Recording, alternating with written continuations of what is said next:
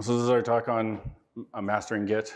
Uh, start off with um, thanking our thanking the sponsors for uh, sponsoring the event so that we can all be here today.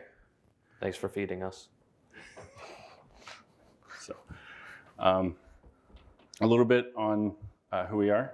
I'll let you All right. go first. Sure. Uh, I'm Ryan Richter. I'm a senior support engineer at Chocolatey Software. Um, I'm pretty much at Ryan Richter 94 on all the social medias, as you can see there. Um, I consider myself a little bit of an intermediate Git user um, from the perspective of this talk. Um, I use it in my day to day, but not so much as our development team and some other people. Somebody. Um, and I'm uh, Cory Knox. Uh, I'm a software developer at Chocolatey Software. Uh, prior to Chocolatey, I worked uh, doing end user computing support for a tire retailer in Canada. Um, and I've used Git, um, I guess, professionally for the last five or so years, um, and uh, unprofessionally uh, for the last two or so weeks. Um, uh, but um, no, there's this, I, I have used Git uh, quite heavily um, and uh, and been using it and learning uh, more about it um, just as I just do everything. Um, I'm not as smart as Ryan. I don't have uh, the same handle on every single social, uh, but it is either Corebob or some variation of uh, Cory Knox, or in the case of LinkedIn, Knox Cory, because some other jerk named Cory Knox took the way I want it. So um, we'll start with a bit of a, a full disclosure.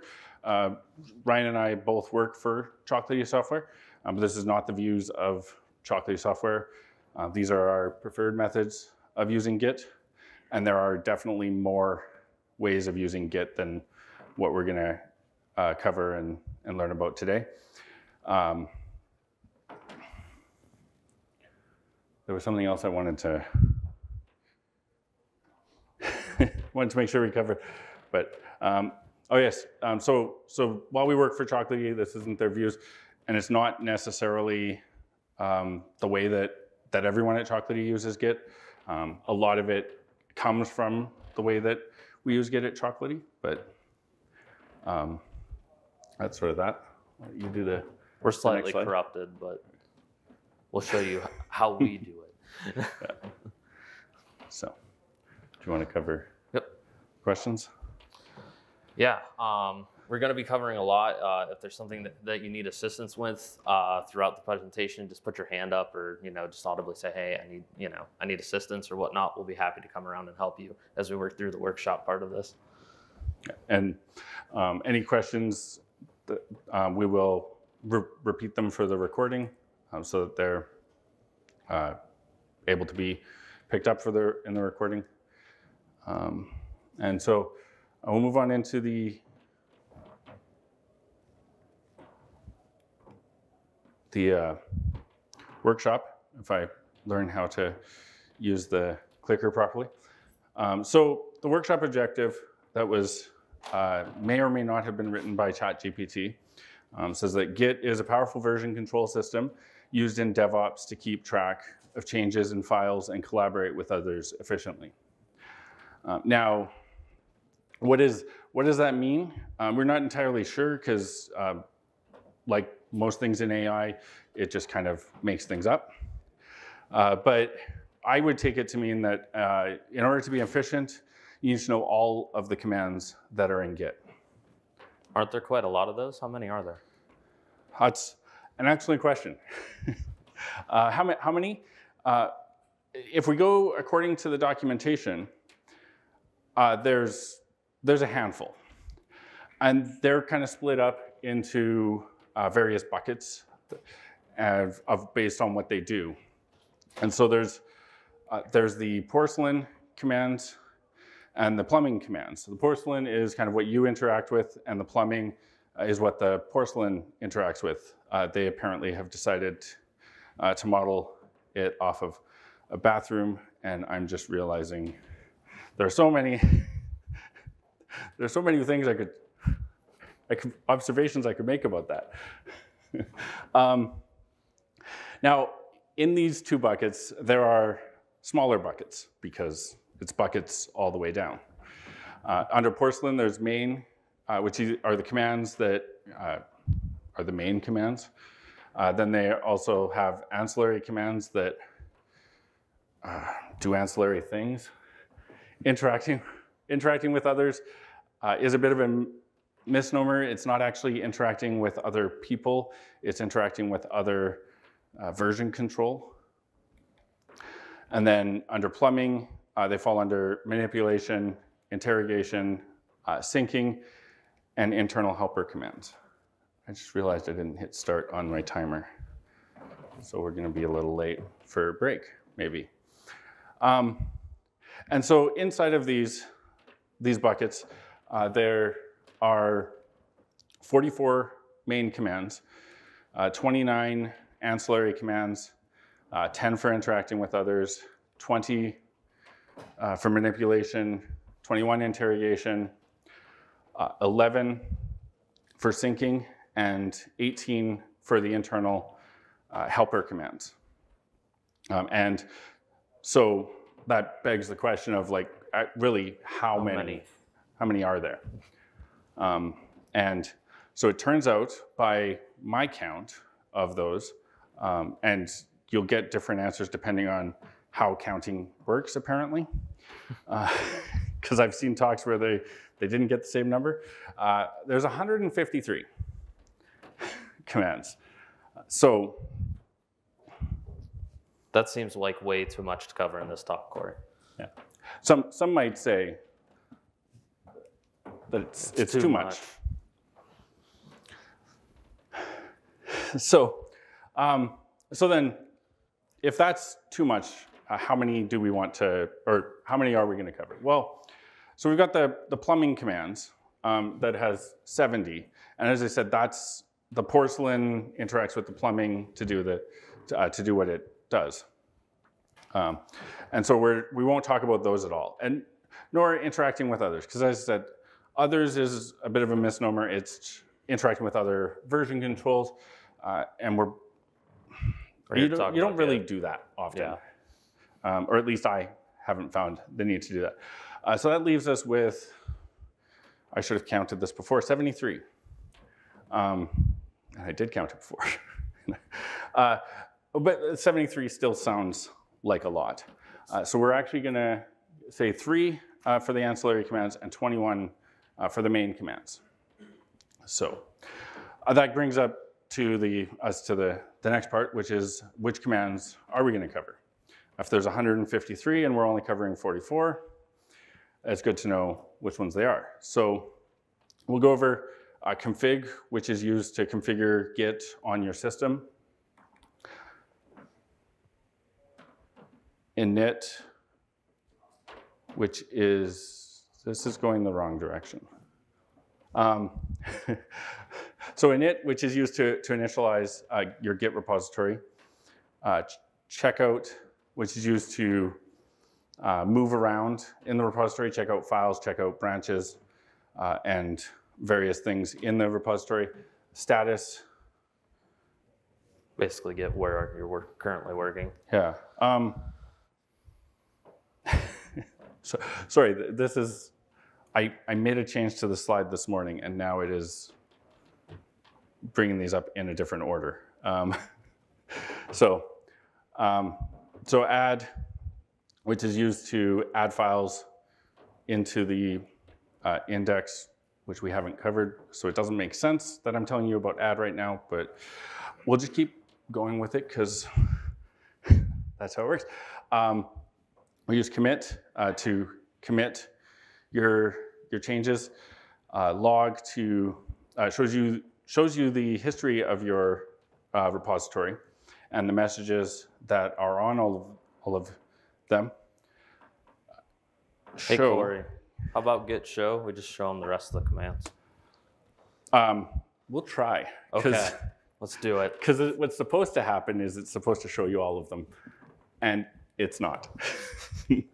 so, uh, pro tip if you're uh, speaking uh, test it, and don't make changes Last 15 minute. minutes before your talk.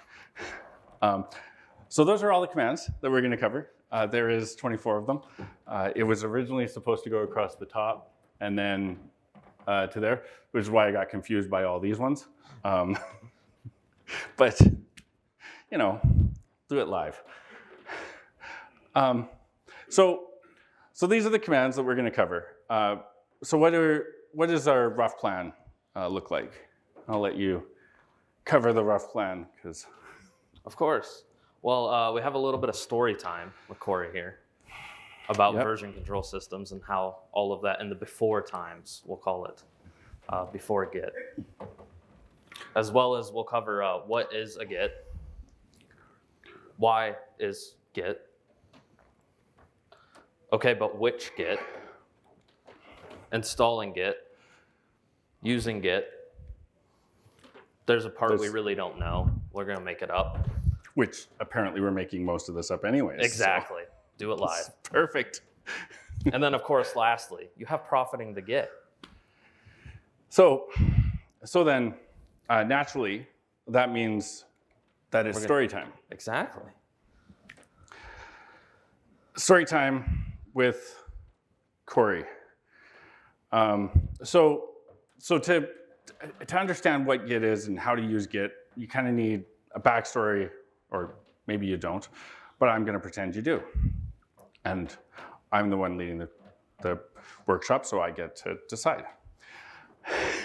so uh, the backstory is um, starting with what is what is version control, and I had intended for not all of this stuff to be shown on the screen, but again, this is how we roll apparently.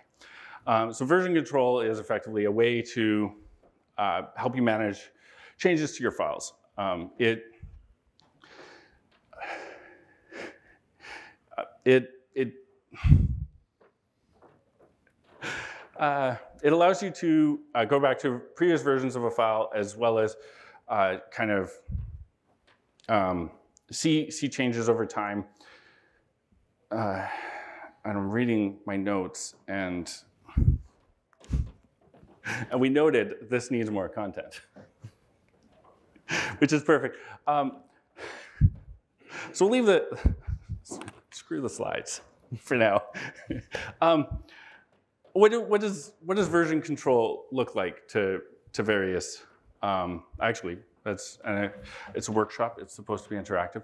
What ask a what does a version control um, look like in in your organizations um, or in your day to day lives? Yeah. So so said it's the um, it's the OneDrive in Office showing you the the previous iterations of a file. Um, I know I've now that I think about it, it's it's funny. It doesn't seem like it. I've been a member of Toastmasters uh, for for a few years, uh, which is why there are absolutely no uhs and ums. If anyone from my Toastmasters group asks, I did perfect, um, and I'm definitely.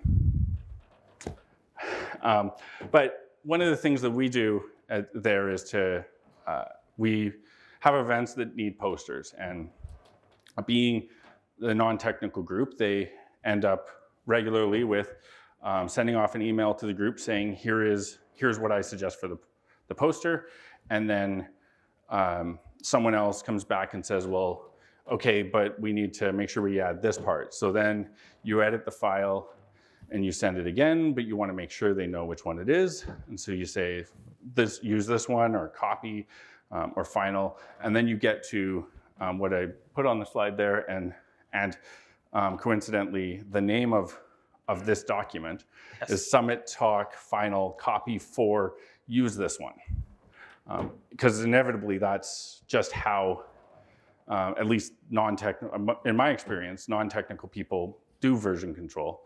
Um, is they just do it however um, they need to do it, and um, and so so this leads to the problem of well, we need to we need to do version control. We need to we need to be able to go back uh, on our and look at our files from the past and um, and see what has changed. Uh, particularly if we've taken something out and then we realize we want it, whether it's for that same project or, or something else, we need to be able to um, get out and do it. And um, now, when I was growing up, uh, we used these for that. Um, they weren't zip tied together, uh, but these were the only ones I still have left. So uh, for those who aren't as old as me, uh, these are floppy, floppy disks, uh, and they hold a whopping 1.44 megabytes. Uh, and you used to be able to put everything on one of those. Uh, then we moved on to CDs. And you end up with backup and mixed data. Uh, and I honestly can't tell you what is on any of these, but uh, it was it was versioned, and there was control over it when I burned those. Uh, I'll be honest, Cory. Back in my day, it was mixtape one and mixtape two. See, but I actually had tapes. Uh, um, so, and and actually, um, to be fair, um, I I have and we've all seen USB keys. That is also, uh, it turns out, a method of version control uh, that is used by some rather large uh, projects if the one random tweet that I saw is to be believed, and it's on the internet, so therefore it is true. Uh, Palworld, um, which I don't know if anyone's heard of it. I've seen it described as Pokemon with guns, uh, which again, it's on the internet, must be true.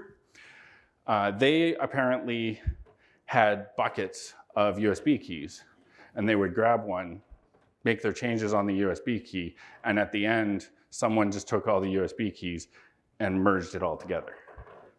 Um, and that was their version control, uh, which is not, not terribly great. Um, but in, in my experience, the, uh, the process of getting uh, to version control uh, is much like uh, this image from Twitter, uh, but in kind of reverse. You start off with your project in a, in a folder, and then you need to make changes, but you want to keep the original changes, so you copy the copy the folder, and then you end up with project with two T's, and project with seven T's, and um, so on and so forth. And then you decide, well, no, we need to give it better names, so you end up with project, project revised. Finally, you say, well, version numbers, that's what No one can name anything, so version numbers, yes. version numbers. Mi- Microsoft does it, and they do a great job. One, two, um, something, something, seven, ten. However, how, however that joke about counting goes uh, when you're Microsoft. So, um, and then and then eventually you you come to the realization that a system like Git is what you want, and um, and so you use Git.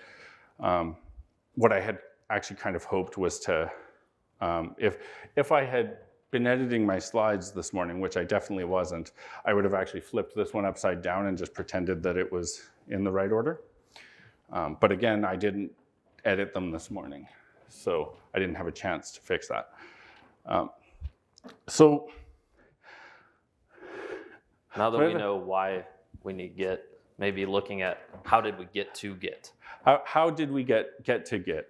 Um, so then we'll have a brief, incredibly incomplete, and probably inaccurate history of version control systems. Um, and so naturally, we start off with, well, back in my day, um, and I did kind of cover the floppy disks and stuff, but the, the history of version control actually goes back like pretty much to the dawn of computers. Um, in the early 60s, there were punch cards. Um, and according to this chart, because um, believe it or not, the 60s predates me. So I'm trusting the internet to be correct. Um, and um, it's not Twitter, so it might not be correct, but we'll hope.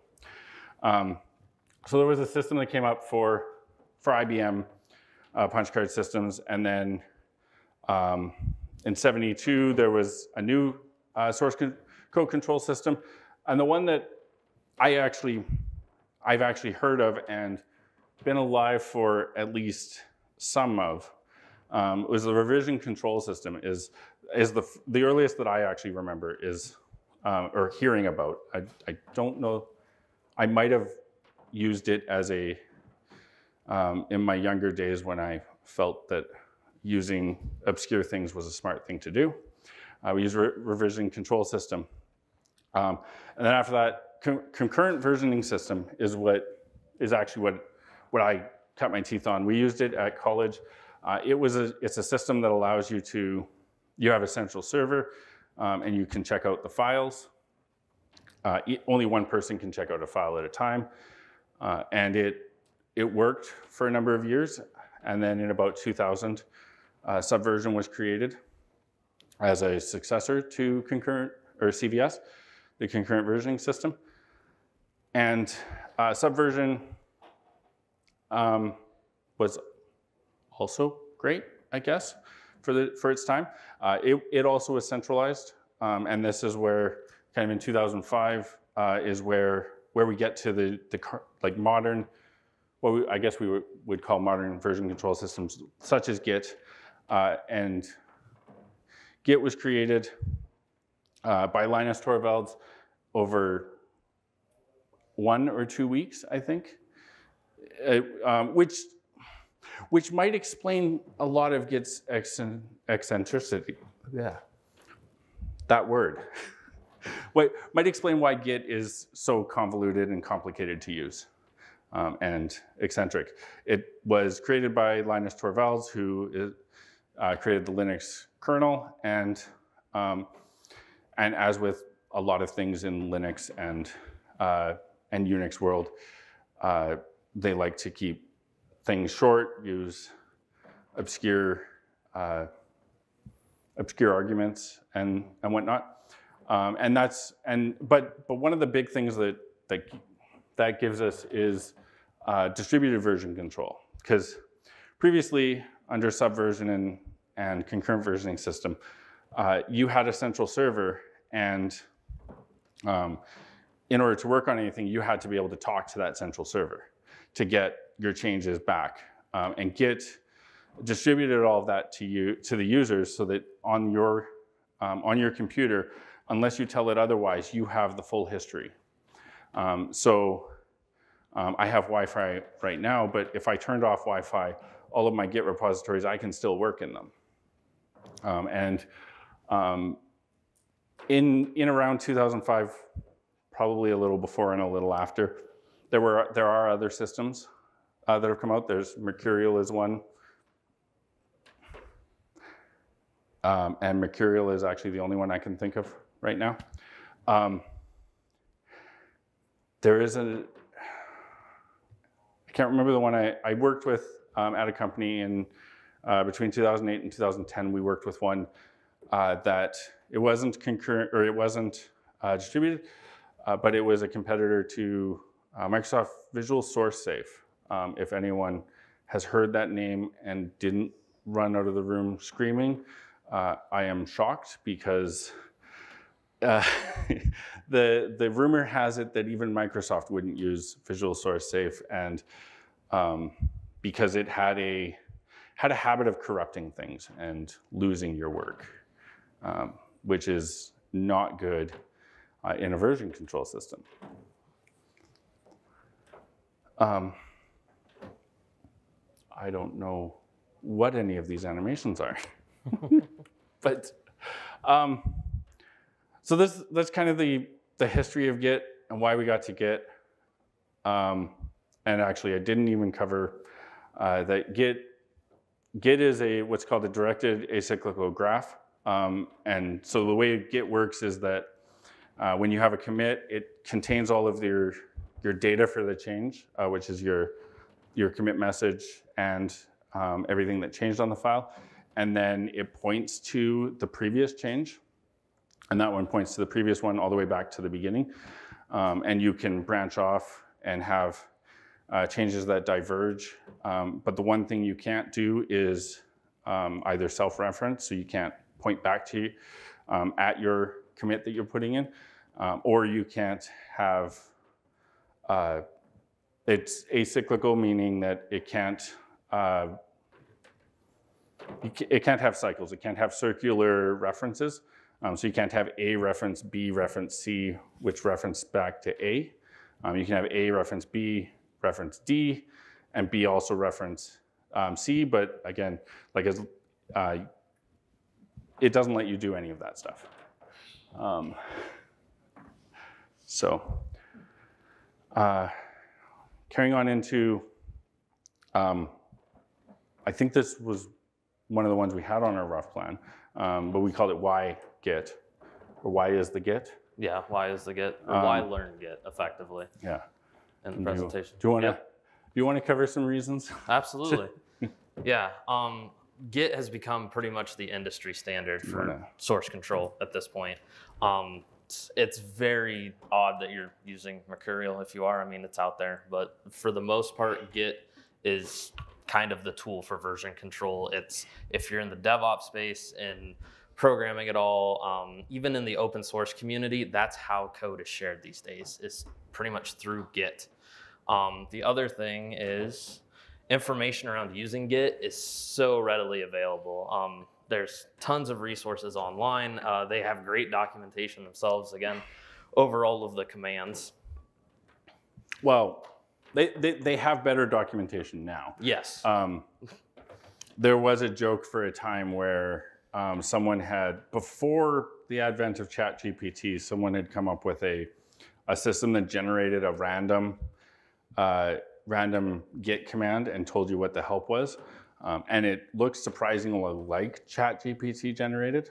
Um, so maybe it was the precursor, but it was um, it the joke was when you put five or six of them together, where where like four or five of them are um, actual Git commands or the help for Git commands, you couldn't tell which one was was uh, the real one or which one was the fake, um, because what makes perfect sense to Linus Torvalds doesn't make perfect sense to most other Most. people. exactly. So kind of the last thing as Um, well is it's a marketable skill. I mean, pretty much any job today, you put it on your resume, learning Git as a useful resource. Again, that allows you to work in the open source community. It allows you to work with code bases today effectively. Yeah, and um, perhaps the most important um, is that um, Mark Russinovich has said that Git is the bane of my development process. It's so easy to get into a state where you have to speak a magic incantation known only to the Git wizards who share their spells on Stack Overflow to get things fixed without losing changes. Um, so clearly, if you learn Git, Mark Russinovich will think you're a wizard. Absolutely. Who is Mark? Who's Mark? Yeah, Mark who? Mark uh, well, Mark Russinovich, And I was the inventor of PowerShell. the inventor of PowerShell, No. right? No. No, Th- This is this is a conference on PowerShell. That that's it Jeff- says Mark Russinovich. that that's Jeffrey And- Snover. Who who is that? That's Mark, right? Does anyone know who Mark is? so, um, so in, in all seriousness, um, that that actually is Jeffrey, as we all know, uh, and Mark Russinovich is the. Uh, for those who who don't know, which apparently. Um, I thought everyone knew who it was, but I did not before making this. um, Mark, Mark is the, the CTO of Azure, uh, and he's the author of the sysinternals uh, tools, which are uh, deep. I've used those. You've used those, and they di- dive deep into the, the depths um, and the scary places of Windows. And so I figured if if he doesn't like Git and he knows all these things about Windows, is probably probably a good idea to know know Git. Um, and so, um, what makes a Git? Uh, I think was another one of our rough plan. Um, I totally should have actually writ- written it down so I'd know uh, when we got to them. But, you know, again, I had this totally prepared and wasn't working on it just as we were starting. Um, so Git, uh, this is just some vocabulary. Uh, the Git roughly consists of a working tree, uh, staged stage content, sometimes referred to as an index. Uh, commits, remotes, and branches are kind of what we're going to uh, work off of. Uh, commits are the, the uh, data that make up your change sets. And then remotes are actually other Git, other places that Git lives, basically. And uh, finally, branches are what what we showed on that earlier slide of the the various different folders with names is basically how you can think of uh, branches. And we actually have slides to actually explain a lot of them. So kind of starting with the high level there. Um, so the working, working tree, often referred to as a working directory, this is the main location of your work. This is where you're working in, uh, either at your PowerShell terminal uh, or in uh, VS Code or Visual Studio or Notepad++ or where, whatever you're working with. And it's where all of your files live and all of the code uh, lives. Um, from your working tree, uh, it'll move into stage content, which is, um, as will become important later in some of the other uh, information, it's often called an index, and Git itself refers to it as an index. So if you're ever reading output uh, and it says index, uh, this is what it refers to. And this is content that you have, after you've done editing something, you, you stage it into the staging area, and the um, Basically, it's the difference on based off what you've begun to work with and what differences you've put into the document. Yeah, yeah, and, and the the the uh, difference between it is it is the effectively the difference between the commit uh, and what you're about to commit. Yes. Um, and commits are um, can get complicated. Uh, they are pointers uh, to private or previous changes uh, with uh, messages and dates and such. So a commit will have uh, who committed it, what, what day and time they. Uh, there's there's actually a number of date and times on it. There's like an authored date and a committed date, uh, and and just the, a list of the changes um, of what's changed since the previous one that it'll point at. Um, expand how commits work. Uh, and so, so commits are are really the, the essential building block of of Git, uh, and they make up the They basically are when you're looking at a graphical representation of Git. Mainly, you're looking looking at your commit history at that point to see what has changed at certain points that kind of make up that graph. Yeah. Um, and so uh, from commits, then we have uh, remotes, which are other uh, Git repositories.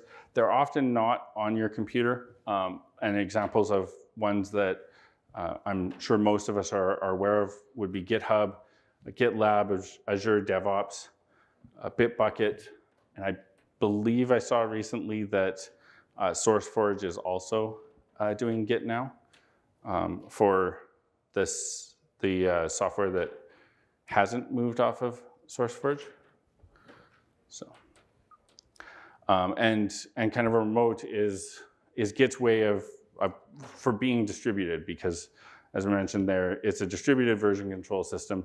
Uh, but by being distributed, you kind of need to know where at least one other one one is if you're going to interact with another repository. Um, and then uh, branches are different. Uh, um, so branches are, as I said, they're like like the folders. They're the ways that you can keep track of of different changes. You can work on um, one project uh, or one. Say you're fixing a bug uh, in your code, and something comes in and you need to fix another bug, uh, higher importance one. Um, you can switch. You would then you could create a new branch to work off of, so that you're not mixing your um, your one bug with. I shouldn't have said bug. As, start off, you're working with a feature, creating a feature, and it's partly implemented, but a, a high priority bug comes in. Um, you're not going to just pull that bug or you don't want to work on that bug in the middle of your feature because uh, you're probably not in a state where you're ready to release it. And so that's where branches will come in. Um, and they're just a collection of commits and allow you to, to keep separation like that. Yeah, absolutely. Mainly your branches are kind of how you release, again, like you said, certain features or certain bugs and kind of segment out that work off of a higher body of it or remote at that point. Yeah. Um, and so nat- naturally, a question that's going to come up is uh, whether you use CLI or, or the GUI, because there are a lot of Git GUIs, um, and I, I want to say, I want to say there's more than one uh, CLI, but it's effectively only the one. Um, there are other tools, but but definitely, um, in in my opinion, uh, you should start with the the CLI uh, because it allows you to um, access all of Git and many GUIs uh, just, a, lo- a, lot of GUIs, at least as they start, they just run the Git command under the hood. Um, so knowing what they're doing, uh, it will help you when uh, the GUI inevitably uh, isn't able to handle the situation that it gets itself into, um, which does happen from time to time. But I think uh, an important um, thing, and so um, we put a link up, up here about GUIs. Uh, there are, like the Git website lists a number of GUIs, um, and it's, it, uh, with the GUIs, it's ultimately, I think, a personal preference as to which one you use, if you do use one. Uh, there's also Git built into version, or version control. Uh, Operating system? Or? Um, not GUIs in, in operating systems, but in uh, like VS Code has a Git integration, uh, as does Visual Studio, and um, most most of the editors that are designed for development will have uh, Git integration, or they'll have uh, SCM integrations for source control modules. Yes. I think is what the M is, um, and they'll, so they'll they'll have at least plugins for for these source control. Um, but it, but one thing I read um, actually just just recently is this um, saying about it's not a tool to replace another, but a tool to complement the other, and that's I think an excellent way to compare the GUI versus the CLI in this instance. Um, the GUI is not a replacement for the CLI, um, but it does allow you to uh, augment and, and complement it. Um, and as well, on top of um, CLI and GUI, uh, there are PowerShell modules that uh, that can help with your your Git uh, integration. Um, one that I really like is PoshGit. Uh, it allows you to tab complete a lot of things that otherwise uh, would be quite painful to have to type out uh, or have to remember. Um, in the case of my branch names that end up really long and then I regret it because I have to type it out every time. Uh, it solves it. I can just hit tab and it fixes it. Um, there's also one uh, called uGit that wraps around Git and uh, gives you uh, objects back. Um, and not just like objects based on the output from Git, but objects that um, that actually, yeah, uh, mostly mostly wrapped around, but but objects that are like fully featured, you can you can take that object and um, interact with it just like you would any other one. Um, so the big kind of difference I would say between the CLI and the GUI is with a GUI, you have a back button, but that only works so often.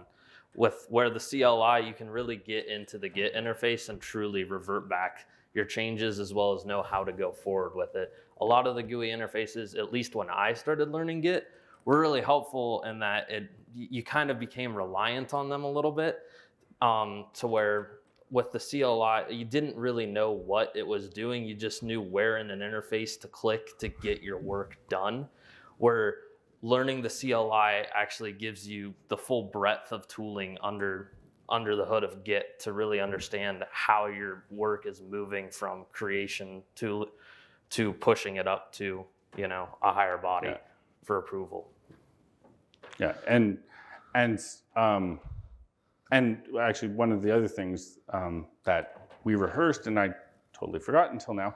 Um, one one of the other reasons that I recommend would re- highly recommend uh, CLI and and learning from the CLI um, is probably the main reason we're all at uh, the PowerShell and DevOps Summit uh, is that we like to automate things and um, I'm not sure about you, but the last time I tried to automate a GUI process, um, I wanted to do a lot worse, or so, some not not good things to um, the developers of the GUI that I had to try and automate. So, um, so now we've kind of covered what is Git, um, why is Git, I think. Yeah. Um, and now an important part is uh, installation of Git, because you can't use Git without actually having it installed. Fortunately, uh, it is relatively easy uh, to install. If you're on Mac OS or Linux, there is a non-zero chance uh, that you already have it installed. Um, with that, there is also a non-zero chance that it's an old version.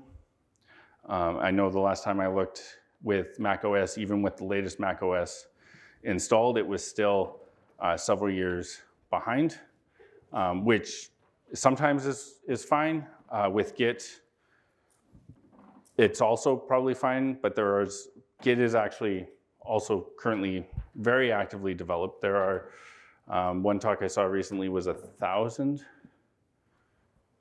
thousand commits um, in a time period, and now I can't remember that time period. It was either a thousand commits, probably over a year. Now that I'm thinking more about it, um, but there, like, so it's it wasn't a year because it was. I think it worked out to about ten a day. In any case, um, Git is still actively developed. Um, it's also actively developed by uh, people at Microsoft and uh, some very smart people uh, to figure out some of the stuff they figure out because I have tried to uh, create bare bones Git and uh, it's painful. So um, now, if you happen to not be on Mac OS or uh, Linux, on Windows, it's also relatively straightforward to install. You can uh, install Git, or you can uh, winget install git.git. Uh, you can also download it from git-scm. Um, and then from git-scm, or once it's installed, then you're able to start using it. Um, and um, so, so I guess uh, we'll go over what, what we kind of what I was kind of envisioning is we'll go over some some commands um, and then we'll demo uh, the commands and um, anyone working with a laptop can work to like work through the commands as we're going um, and um, and ask questions about them kind of as we go um, and kind of kind of try and build the commands upon uh, each other. So I'll start off with the git, git config uh, as briefly alluded to earlier. Uh, it is a command used uh, for your configuring of Git on your system. It's uh, the the help text describes it as get and set repository or global options, um, which is that's what it does, but it's um, it does a bit more, more than that. It's it's the effectively the or usually the very first command you're going to run once you're done installing Git. Uh, you're going to need to run git config, otherwise uh, it's not gonna it's gonna yell at you when you try to use it, uh, unless you're in Active Directory, which it might not yell at you, but it might not get the right information. Um, and so, a bare minimum configuration, uh, you'll use git config, and conveniently, the next slide um, is is about the workshop time. But uh, so th- you'll run uh, git config with the dash dash global flag, and then uh, the configure options are, uh, I've just read the help of this the other day that ex- explained it.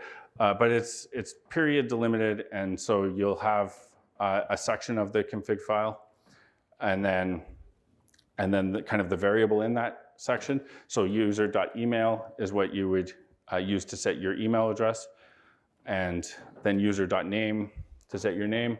Um, and this uh, new one, I, I put it under as bare minimum. Uh, and I realized the notes are actually on the last slide.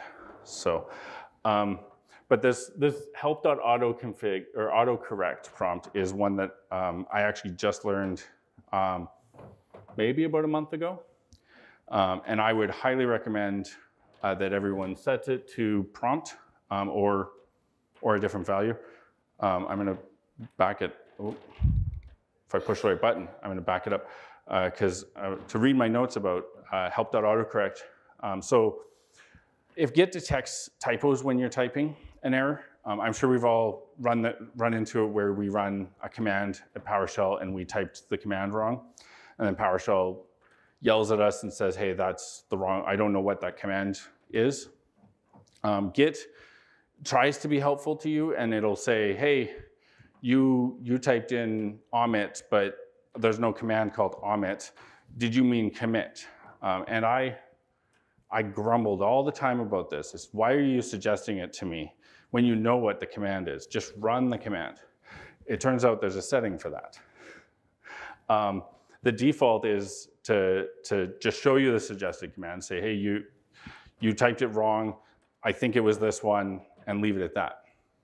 You can also set a value of a positive number, which is to run the command, suggested command after specified deciseconds. Um, and this comes into the eccentricities of Git, uh, is that it uses deciseconds, which are tenths of a second instead of, I don't know, seconds.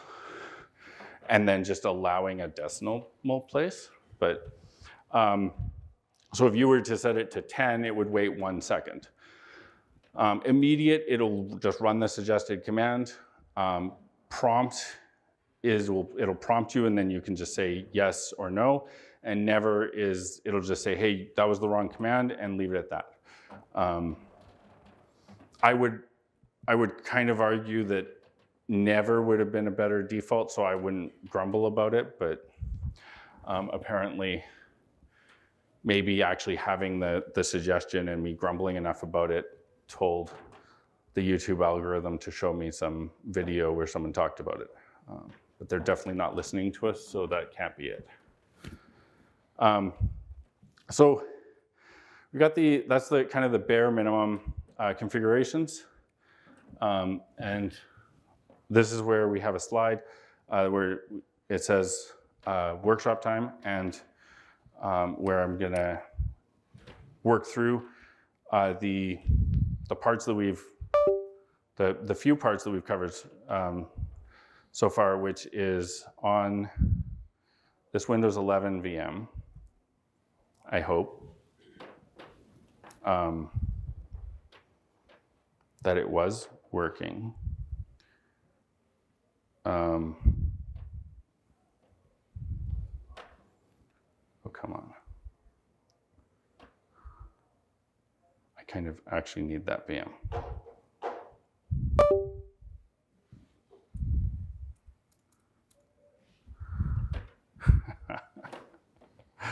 ah, it wouldn't be a demo without, without things going wrong, would it? Okay. Um, you know what?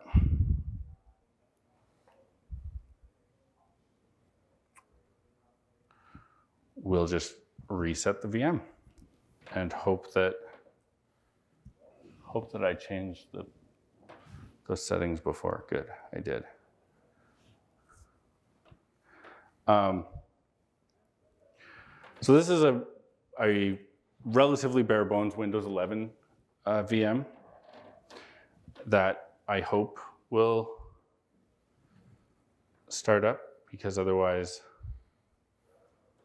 um, otherwise I have to demo with a live, live system, which gets a little tricky. Oh,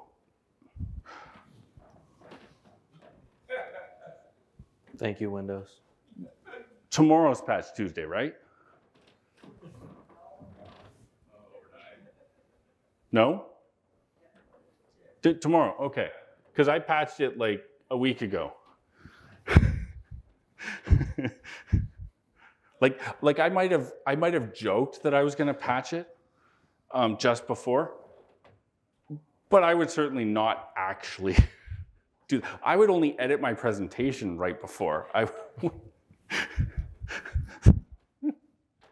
There's levels to the insanity. Um,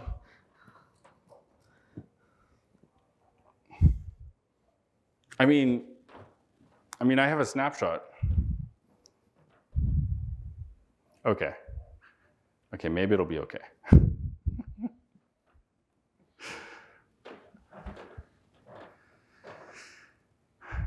I mean, at least it at least it knows that it has four processors now. Um, up until up until very recently, um, I told it it had four, but Windows only picks up two uh, because of sockets and licensing, apparently. Um, but so now, if I open a terminal as an administrator, and I'm going to turn, hopefully, turn sounds off on that. Um, so uh, we said to install uh, Git, it is winget install uh, git.git. And I think I am on, I am apparently on Wi-Fi, so it will, uh, as it, um, it will apparently download and install it, or download and install something. Um, and as, as mentioned, this is relatively bare bones, uh, and I'm realizing that might be a little hard to see, but um, if you trust me, it's just winget installing uh, get or git. Um, make it bigger, I think. Um, and so, yeah, it's uh, easy enough to just install. Um, and wait for to download because I don't know if we can actually if you can actually pre um, like pre-cache that sort of thing with uh, with GitHub. I know I had a fallback if the internet wasn't there, um, and that was a chocolatey package. But we felt like for um, for this to lean into the whole um, we're not we're not representing chocolatey. We're not. Um, we would use not chocolatey to install things. Um,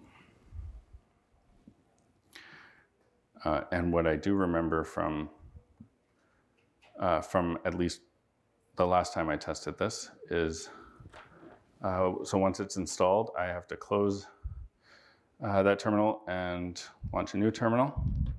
Uh, this one won't be as an administrator because, uh, as we all know, you shouldn't run as an administrator regularly.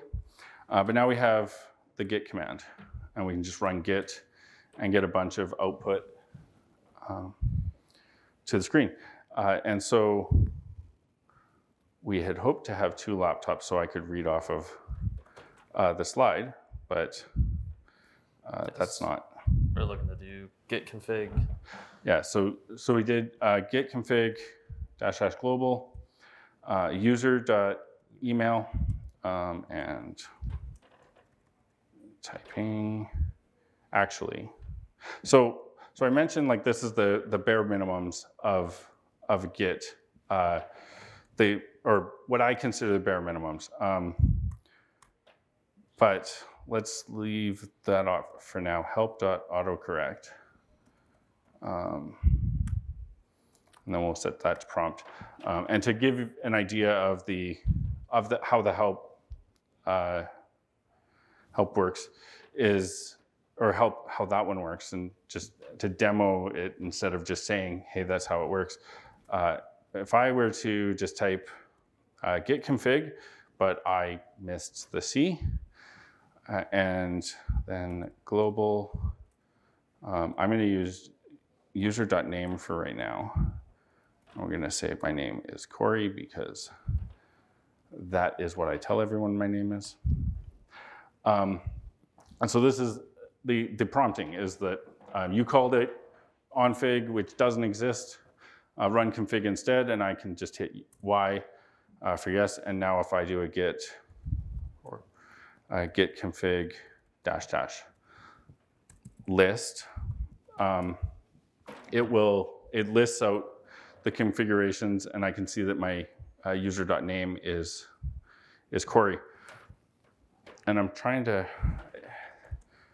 if I do, if I forget that I'm not at my computer and I do a git f, um, the, the one thing that this won't do is when you're in, um, if there's more than one command, it won't, it won't prompt you to run it. It'll just say, here's the, here's the however many commands. Um, and then you have to figure out which one you meant based on that, uh, which is probably a good thing. It's also actually the reason that I prefer prompt instead of uh, just running it is because I'm I'm fearful that I'm going to type something and Git's going to say that's not a command and it's going to pick something different and do something I don't want it to do. Um, but I also can't think of any command where it would where it would actually um, do damage. So, um, so this is the that's the like getting started, getting Git installed now. Um, from it being installed, uh, we can now go and use it. One of the things um, you might have noticed that I purposely left off so far was I didn't hadn't set the email. Um, and the reason I hadn't set the email, I'm realizing now is I wanted to demo, um, but I'm not going to, I think for a bit, is, um, so it, the reason that I, suggest, I would suggest setting your, your name and email in your Git configuration, um, and definitely setting it to with global, uh, is because if it's not set, uh, especially on Windows, it will Git will try to be helpful. It'll try to figure out what you what your name um, and your email address is. Now, uh, if you're in an Active Directory environment, uh, it might be able to. I think it it it. I don't know if it queries um, the Active Directory or or if that information is just on your user account. Um, but I've had it at least figure out parts of it. It seems to look at logon domain and username to figure out your email. So um, in the case of um, a former employer, I was CKnox, um, and the domain was their, their domain. Um, and so it would pick that up, which my email address was actually uh, Cory underscore Knox. Uh, so so this is kind of why, one of the reasons I also suggest doing it is that uh, you're, you're able to be very specific about what email it uses. Uh, the git config command also has, so this was using dash dash global. You can also use dash dash local. Uh, so when you're in, when you're in a git repository, you can do uh, git config dash dash local and it will set the configuration inside of that. Uh, inside of that body of work, basically. Yeah, inside inside of that repo, so that um, maybe you have maybe you have Git repositories that you're going to use for work, and you want to use your work email, and then you do open source work um, on the side, and you want to use your personal email for that. Um, you're able to do for each repository have a setting. And I think this is the part where technically we would go back to the um, back to the slides. Um, and the next slide was asking if there's any questions. Um, so I'll ask if anyone has any questions. Missy? Um, so for help.autocorrect, uh, it, the default is zero. Uh, it can be any, uh, if I turn this back on, um, and it wasn't, it wasn't on the screen. So I just, I have my notes um, here. So it can be uh, zero, which is the default. So just show the command. It can be a positive number. Um, but I think when they say positive number, they actually mean positive integer, so no decimal point. Um, and it, it, that's the one um, decisecond, so one tenth of a second, uh, for how long to wait before it automatically runs it. Uh, it can be immediate, which will run it uh, immediately. You can prompt, uh, which is, as I said, the, the one I suggest, and never, will just never prompt. Um, Hey Cory, a good example of that would be how can we show the help of that command actually inside of Git? That's an excellent. We, and we can do that, maybe, if this all works. Um, okay. Uh, so if we did, so uh, git, actually, all git commands um, have a dash dash help uh, argument, and so you can run dash dash help. Um, one of my complaints, uh, in my my personal opinion, is that if you're on a if you're a if you're a command line interface and someone asks you for help, you should give help in the command line interface. Um, this is just kind of my opinion, though. Uh, apparently, Git does not share my opinion because uh, it Goes to an online resource. I, well, it doesn't even go to online resource. It in it ships with HTML resources, and it takes you to the HTML. Uh, at least on Windows, it does. Um, I believe on Linux, it might not, um, and it definitely wouldn't if it knows you're on SSH, if you're SSH in. Um, but that being said, uh, a benefit of of the web browser is you can uh, if you figure out where the keys are on the keyboard you don't normally use, you can search. Uh, so we can actually, what was it called? Autocorrect. Autocorrect.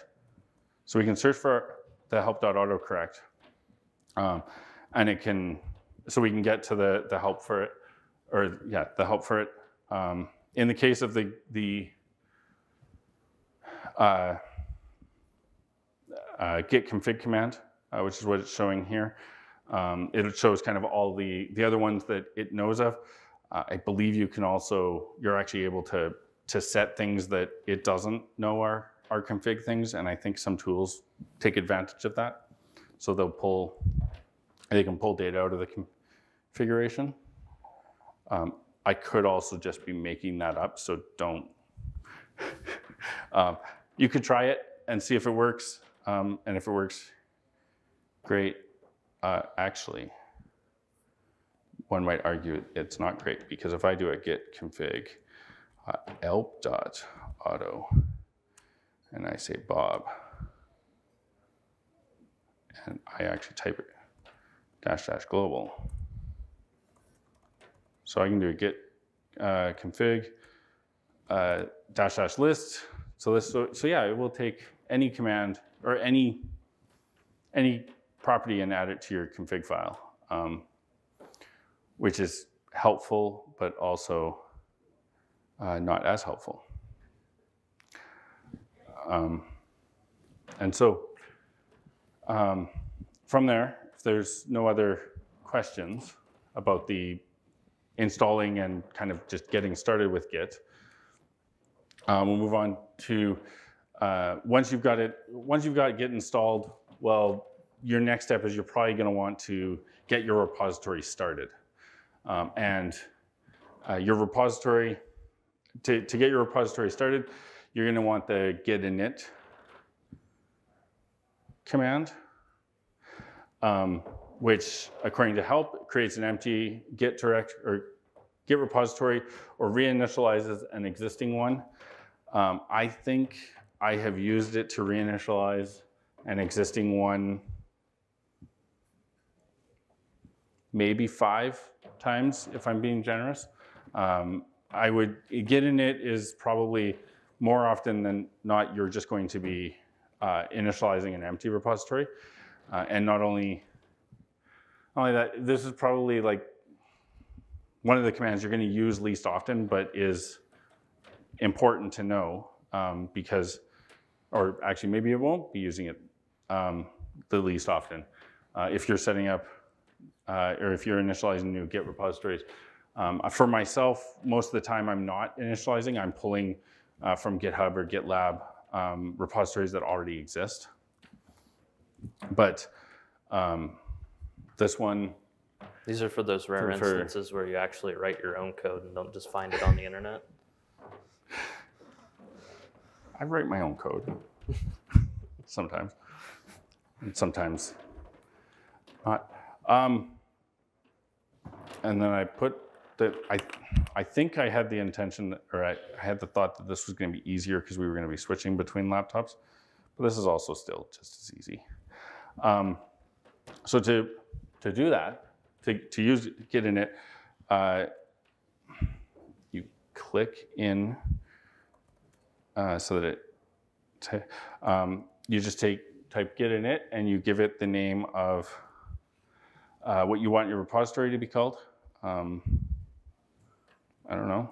Uh, let's call it Summit Demo. Um, I'm realizing I've never tested if it works with spaces, but if you put spaces in your um, in your file paths, uh, you Your monsters, for one. I was going to say you're a bad person and you should feel bad, but Yes. apparently you're monsters.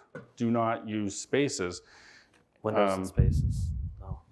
Sorry? Windows and spaces. Then there's quoting. Quoting.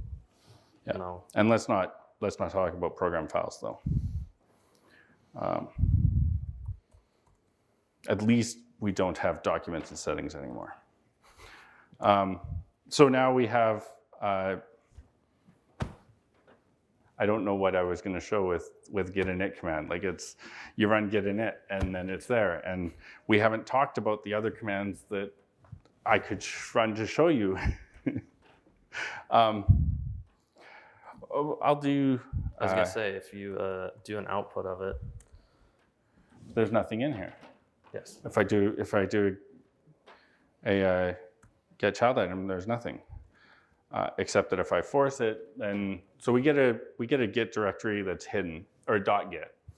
Um, the dot is actually important uh, because that's actually where git looks, and everything that's not Windows treats dot uh, as hidden files. So. Um,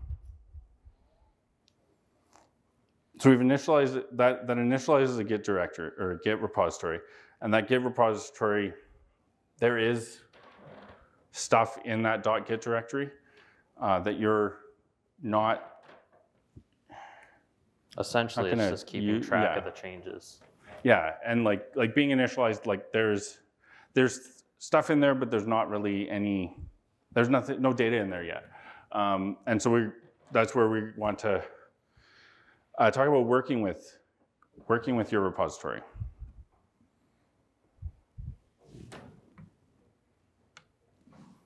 I'm seeing things on the screen that seem. Never mind. I just have dust on my screen.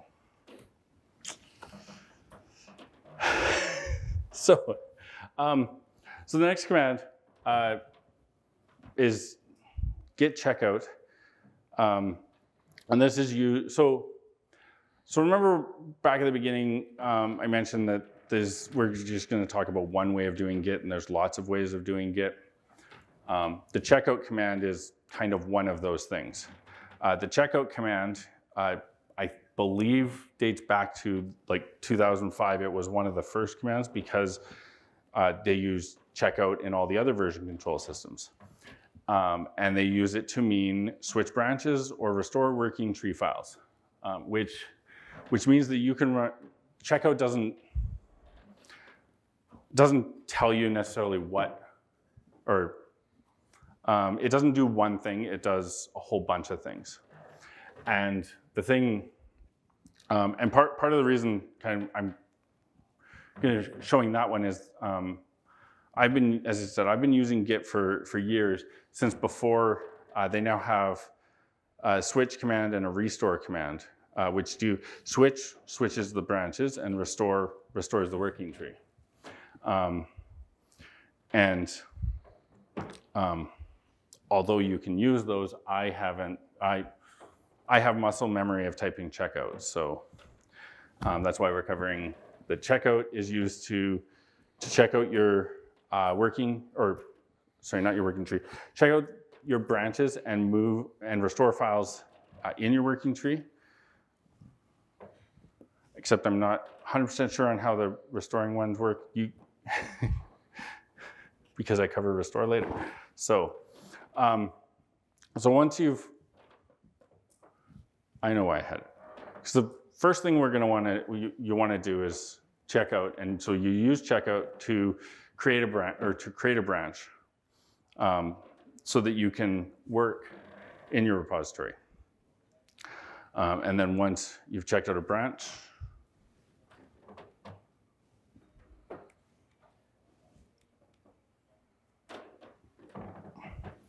down means go forward.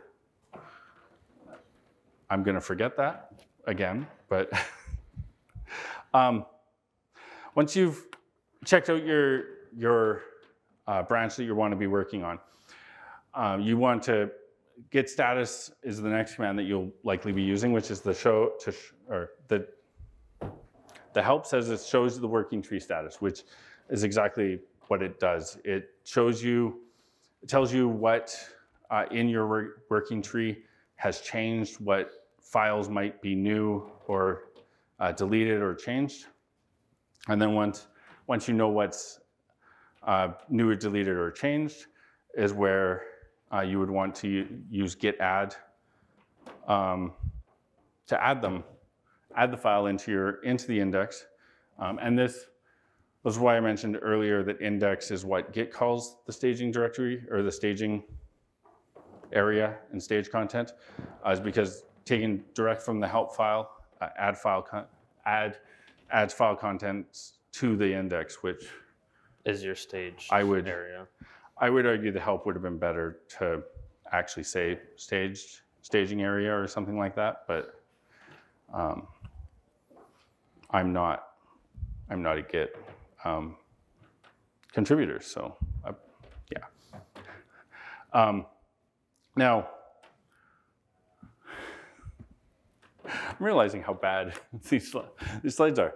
Uh, but so, so once, once we've, like we're, when we're working in a directory, we want to track changes uh, to the working directory um, and kind of know where we're at. And we can run the, the git status command, uh, which will say, which will tell you what's changed. Um, and I am going to demo it uh, shortly. Uh, but, but seeing what's changed isn't, um, if you have to run git, git status every single time, it can be quite overwhelming. It can also give you an awful lot of output for uh, that you may not actually be interested in. And that's where Posh Git, uh, or that's another place where Posh Git uh, can come in because Posh Git by default, if you haven't configured your, uh, your prompt, uh, it will give you the status in your prompt. Um, so it'll tell you what branch you're on, as well as uh, what your what your status of your repository is. Um, and then from there, we have git commit, uh, which records changes uh, to your repository. So these are the ones that we have added uh, to the repository. And once you've added them to the repository, you want to commit them. Um, and you would use the git commit command, um, which takes us up to demoing these commands that I am absolutely not going to forget where we were. Um, so we did a init, and we said we check out. Yep. So let's do that. Smile for Ebony. Um,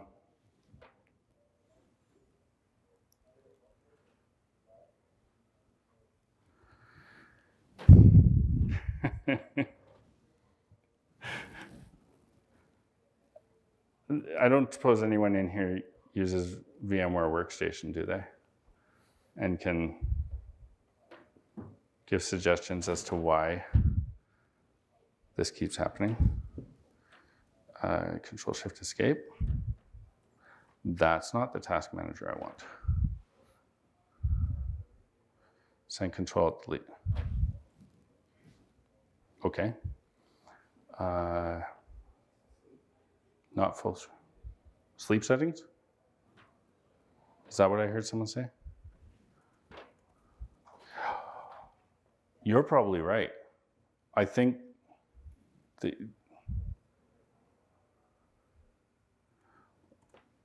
let's go into the good interface. It is turning this. I bet you it's yeah. Turn the display off and um, and you know what? Let's make it high performance because uh, we are high performance people.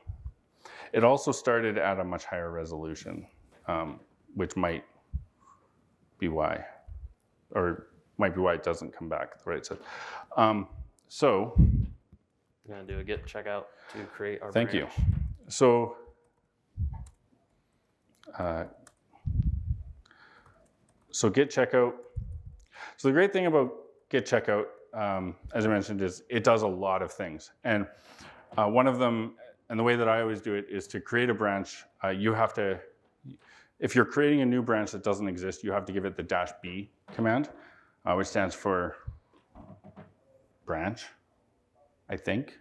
Yes. Um, the switch command uses dash C, which means create. Uh, and if you're if you were to go off of like use the command for what it's supposed to, you would technically use branch, um, which again is very helpful to. Um, but the, the the trouble with using like something like git branch to create the branch and then then you have to git switch to just switch over to it or git checkout. Um, I always just do git checkout uh, dash B and my super cool, not at all ridiculously long branch name. So I have now checked out my new branch uh, and I'm over here and I can see that by running git status. And it tells me that I'm on uh, branch uh, my super cool, not at all ridiculously long branch name. Um, and I can continue uh, with working on things. But what if I wanted to go back to the previous branch that I don't even know the name of now? Um, the great thing about git checkout and technically switch is that this is either going to work because I'm remembering it correctly or it's not. Um, if it doesn't work, we'll scrub it from the recording, I'm sure, definitely. Um, but if you run git checkout with just a hyphen, it will actually take you back. No. Okay.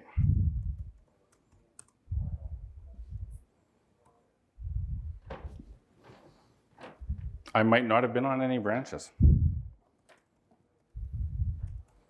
Uh, pretend you, wait.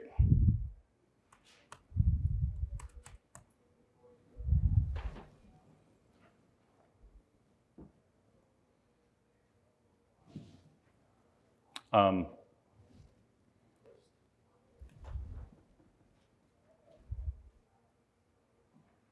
I think, I think it's because I don't have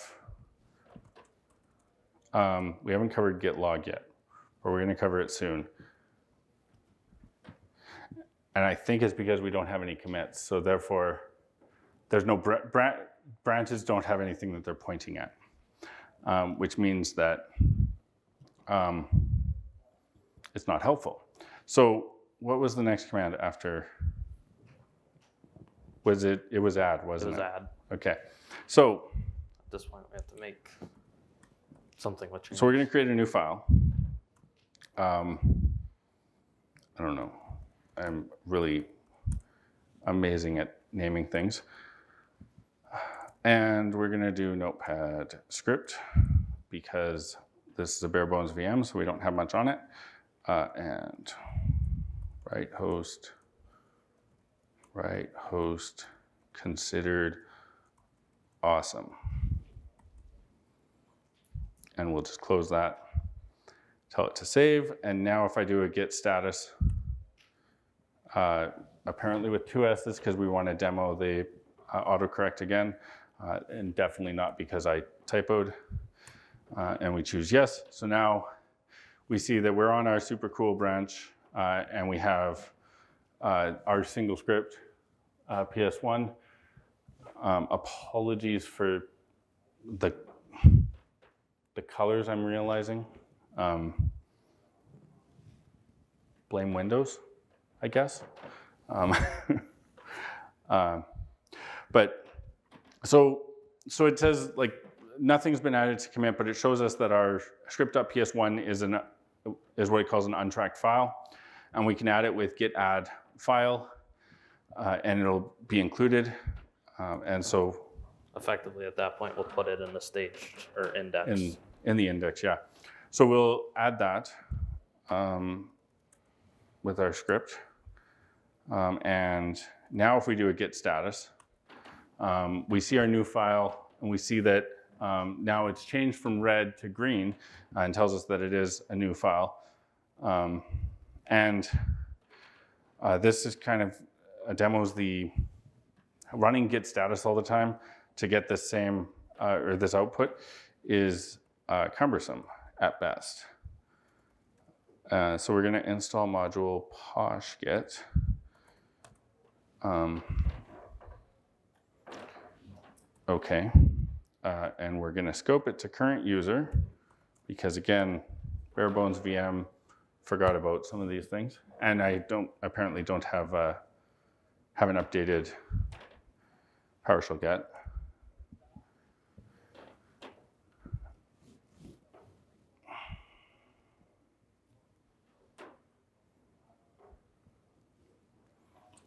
I'm looking at the time. We have a few minutes before. Oh, wait, no. Um, in about six minutes is when you're going to be talking, and Yes. I'm going to go get food. Okay. Um, so now we import Posh Git. And so now this is the, the default um, the default prompt when you don't have a prompt. Uh, and so it tells you uh, various things like what branch you're on, as well as uh, it being, gr- being green here means that it is uh, the stage stuff. If I do uh, git reset, which will cover. Um, don't don't push the power button that's right above the delete button. Because apparently, apparently it's really easy to just push the button and it. I really hope it just went to sleep. 'Cause-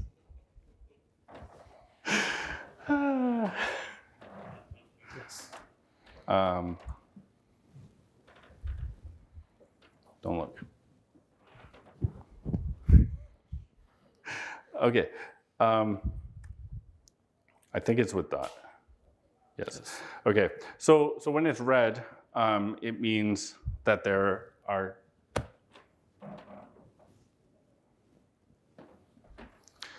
Okay. Let's see. Windows P. It's back. It, again, Okay. You didn't bring the goats, did you? No, not enough of them. Um, so when it's red, it means that there's have been ch- there's changes uh, to the local directory. Uh, we'll see it a different color uh, than green shortly too. Um, let's do a new. Oh. Okay. Type I'm just going to copy script uh, to be script two because reasons. Um, and so if we do git add uh, script one or two, apparently there's no script one. Oh. Uh, so we so um, when we have multiple, like it, the default it shows like this. Uh, it's also not terribly great at the moment because uh, some moron picked a really long, uh, ridiculously long branch name, you might say. Uh, but I digress. We'll carry on. Uh, once we've added it to the, the index, uh, we want to commit it. And so we run git commit. Uh, and you, if, you run, if you just run git commit, it's going to open the default editor. Um, actually, no, it won't in this case. Uh, in the case of this, is that th this is why I men mentioned uh, you set the user and the email, is that um, if it doesn't know what your user, like your email is, uh, it tries to figure it out. And in the case of, it tried to e figure out my email address, and it decided that my email address is corebob at uh, corebob-win, actually, yeah, win11 dot uh, none because I'm not on a domain. I'm not on a network that is giving me a. Uh, FQDN. sorry. Um, on DHCP, it can the the DNS lookup address. Um, it doesn't. It's not giving me that, so it can't figure. It can't. It can't make a guess as to what what it thinks my email address should be. Um, so it yells at me, and uh, in this case, I think it, if it detects that either one of them it can't figure out, it just tells you about both of them. Uh, but we're just gonna, we're gonna take their example of an email uh, and you will want to actually do this. Don't, don't do what I'm doing here, but because you're not you at example.com. Um, neither am I, but I'm demoing, so I get to do what I want. So now when we commit, it opens the default editor, uh, which is the best editor, uh, which is uh, Vim, and we're going to tell it that we're in dark mode so that things are kind of visible.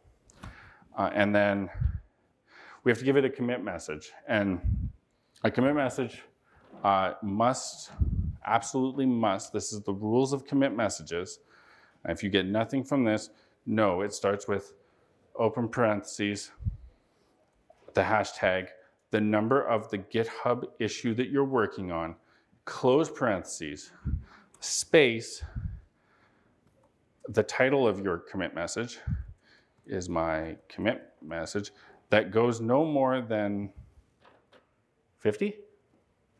Josh, is it 50? It's 50 goes no more than 50 characters long, and it shows you down at the bottom here that we're at 33. And then there's a blank line. And then I did some really cool things. All of these can go no longer than 72. This is the way you have to do it. Git will break if you do it any other way. Or you just put whatever you want in.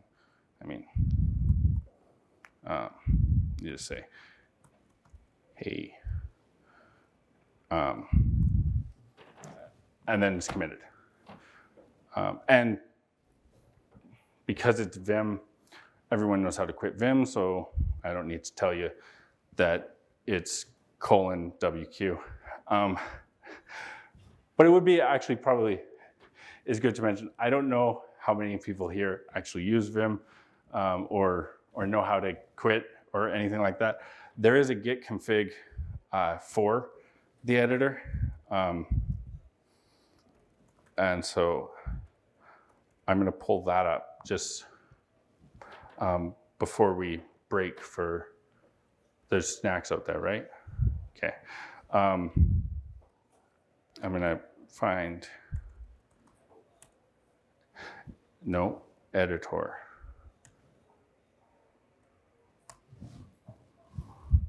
core.editor is the name that you want to set. So, so um, what we'll carry on with after we come back from the coffee break is actually setting that so that um, so that you don't have to. Uh, I was able to quit Vim. Uh, some people might have to shut down their computer to quit Vim. So uh, we'll help you not have to shut down your computer after the break. So we're definitely going to go off script because we definitely had fully prepared everything and haven't been winging any of this. Um, so uh, to carry on from where we kind of what it was half an hour ago and I can't remember what we were doing. Um, So we've worked that's with a interesting to me. Sorry. We've worked with creating a local Git. We we have we've created a local Git Git directory. Um, we've uh, set up our email address. We've committed. Uh, a question that came up um, during the break uh, was about the. Uh, uh, let me let me add the the file. Um, so one trick you can do with git add uh, is if you give it uh, dot um, for your local directory, um, that's going to work perfect because I'm definitely not going to kick that. Which is true because I haven't moved over that way at all. Um, but you can use uh, dot to like to add the entirety of the local directory. Um, that can sometimes be dangerous. Um, so, because it will add all tracked and untracked files, which we haven't really covered any um, any tracked files yet that have changed because we've barely gotten them in. Um, but the question that came up was regarding git commit uh, and uh, again set bg equals dark. Um, and so I had made um, the, the tongue-in-cheek comments about uh, that the message absolutely has to start with parentheses, uh, a hashtag and it, or octothorpe or whatever, the hash symbol, and um, a number and then close parentheses. And, and um, why that is and, um, and uh, also a bit about why it's tongue, it was, it's tongue-in-cheek. Uh, the commit messages can be absolutely anything you want. Um, if, if you've ever worked with uh, GitHub Actions or any other CI/CD system or seen uh, the commits generated from people working with them, a lot of them will just be, and I know for myself that definitely are, uh, just something uh, or maybe this needs to be true or let's try this again. Uh, and then when it's done, uh, you do some magic that hopefully we're gonna um, cover as I put my timer on again. Um, and definitely do it four minutes in instead of 10. It's uh, getting better. By the end of the week, it'll, I don't have anything else after today. So, um, but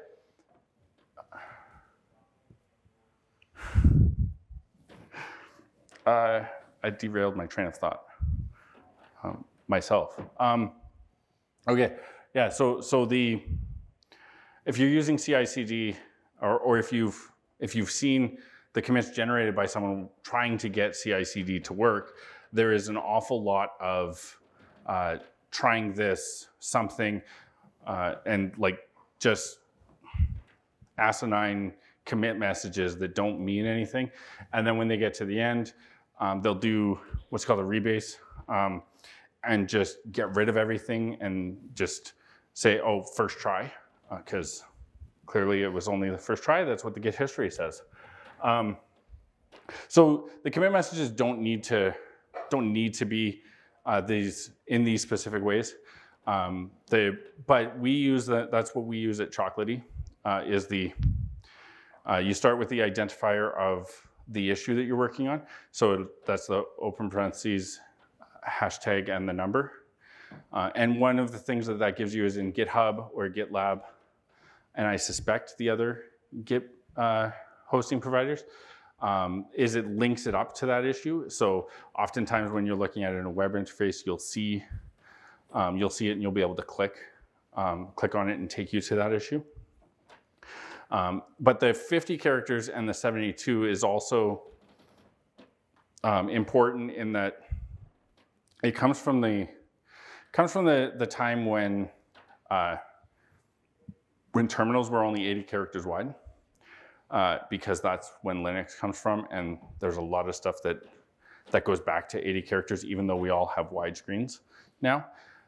Uh, but even though we all have wide screens, we uh, oftentimes our Git, when we're working with Git, uh, if you're working with it in, in your editor and looking at your commit messages or um, anything else, it won't be the full screen. It'll just be like a toolbar on the side.